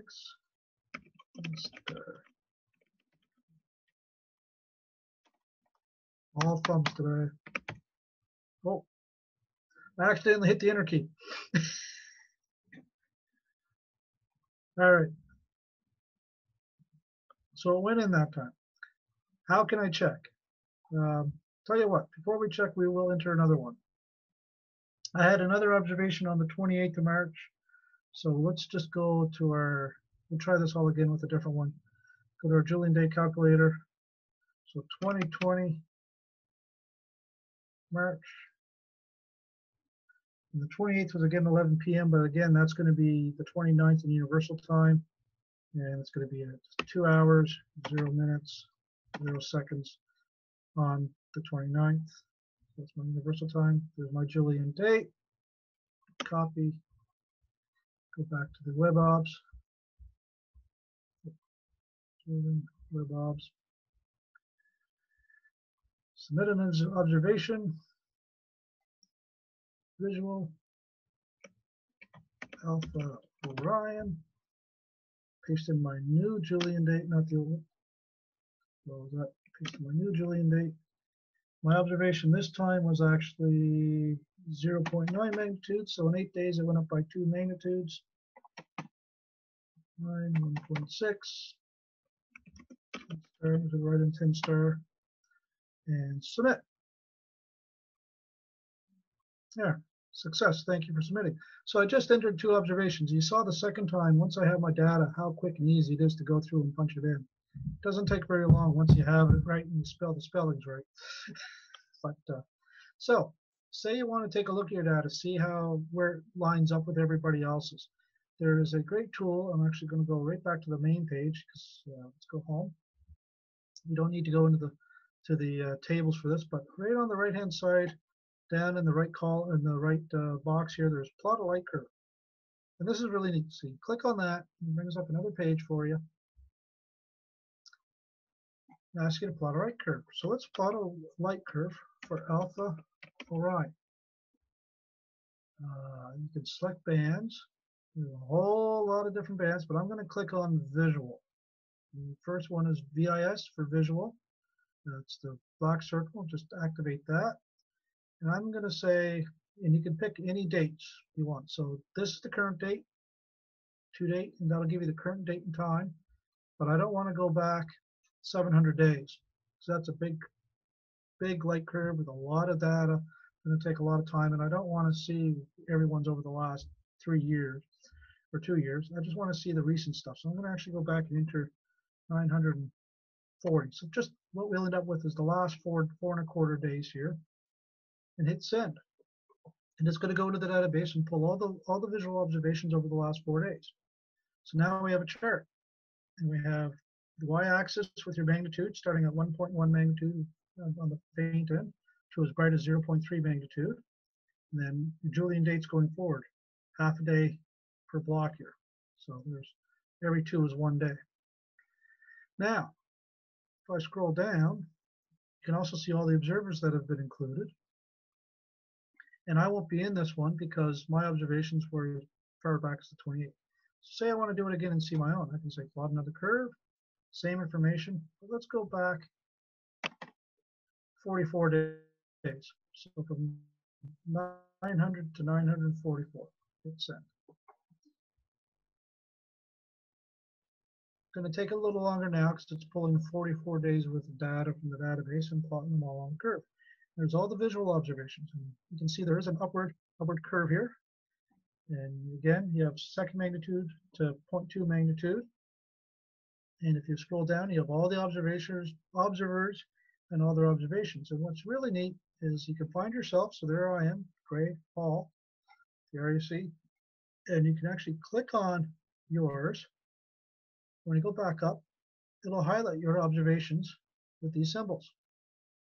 And you can see how your data is fitting with everybody else's. It's kind of cool. There's one of my other observations way back there. And if you go, say, plot, let's go way back. Let's go back, uh, when did this all start? October. So let's go back, uh, let's go back 200 days. So 750, let's get 744. Hit send. So if you want to see what Betelgeuse has done this winter, this will give you an idea visually. And there's two really neat things to note here. One is the great drop. So Betelgeuse is hovering around 0.5 magnitude, 0.6 magnitude, which is where it normally sets. And then over December and January, it dropped down and averaged between 1.6 and 1.8. Um, so that's over magnitude. It's dropped over over two months, and it's quickly coming back. It actually appears to be climbing back a little quicker than it dropped, uh, which is kind of neat. But the other neat thing to see is how many more observations there are now. Um, every circle is an individual observation. All this black in here is multiple observations. And it's not so much that people were making more observations by themselves, there was more people observing it and recording it too. It's just, it gathered that much attention. Um, so I'm going to go in here and highlight mine again just to show you. And there's mine. And it says in this chart, I have 21 observations. So over that four months, I observed it 21 times. And you can see all my points scattered in there. And see where they're at. So that's how you can plot a light curve. So uh, I'm going to go back to the AVSO page briefly here, just to leave that up. And uh, we're at four minutes to four. So I think that pretty much covers what I wanted to do. I showed you how to observe a variable star, showed you some interesting ones to observe, and uh, hopefully showed you how to actually report your observations to the AVSO so that the data gets used and doesn't just sit in a logbook. If there's any questions, I'd be glad to take them. Uh, one of the suggestions was that you could have shown Betelgeuse as well in in the uh, start, the observation brightness. Sorry? Never mind. David had suggested you choose Betelgeuse. Uh, but there is another question. Can I use my already set up imaging rig DSLR for amateur photometry? How can I use my already set up? A light curve could be fun to make as long as the gear is already set up for imaging. You can use DSLRs for photometry or magnitude estimation. Um, I don't know all the details around it. I have not done it, but the AVSO does have, um, I remember reading it in here somewhere, under, where's the tutorials? Getting started. Uh, it's not under the tutorials. I think it's things to do. There is a spot in here somewhere about using DSLRs and how to get them. Um, Dave Lane, if you're out there listening, do you remember where that might be buried? And just so you know, I made a mistake. It wasn't suggesting the light curve for Betelgeuse. It was also suggesting you could type in Betelgeuse instead of Alpha Ori. You can, yes, yeah, but but a lot of stars don't have common names to use, Mm. so that habit of learning the the uh, designation for them is helpful as well. So, but the brighter stars like Betelgeuse and uh, Algol, for example, the co- ones with common names would have uh, you would be able to do that. That's correct. if you just Google AAVSO and DSLR, Yeah, it takes you to their guide. It's Right. just a file somewhere's on their thing, so I'm not sure how you get to it from the menus, but you can Yeah, always the- Google it. there, there is a manual on the ABSO site for the DSLR. Actually, DSLR. Here we go. There's our manual search. Uh,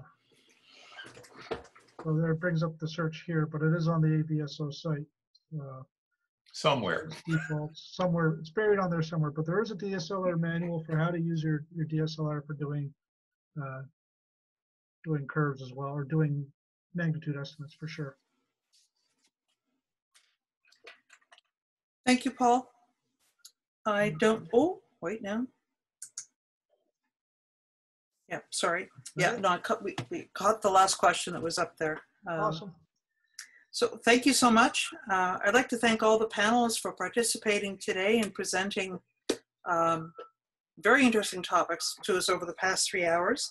Uh, I think it went well for our very first time, um, but we will certainly be in touch with folk and ask, perhaps ask uh, how it was from your perspective.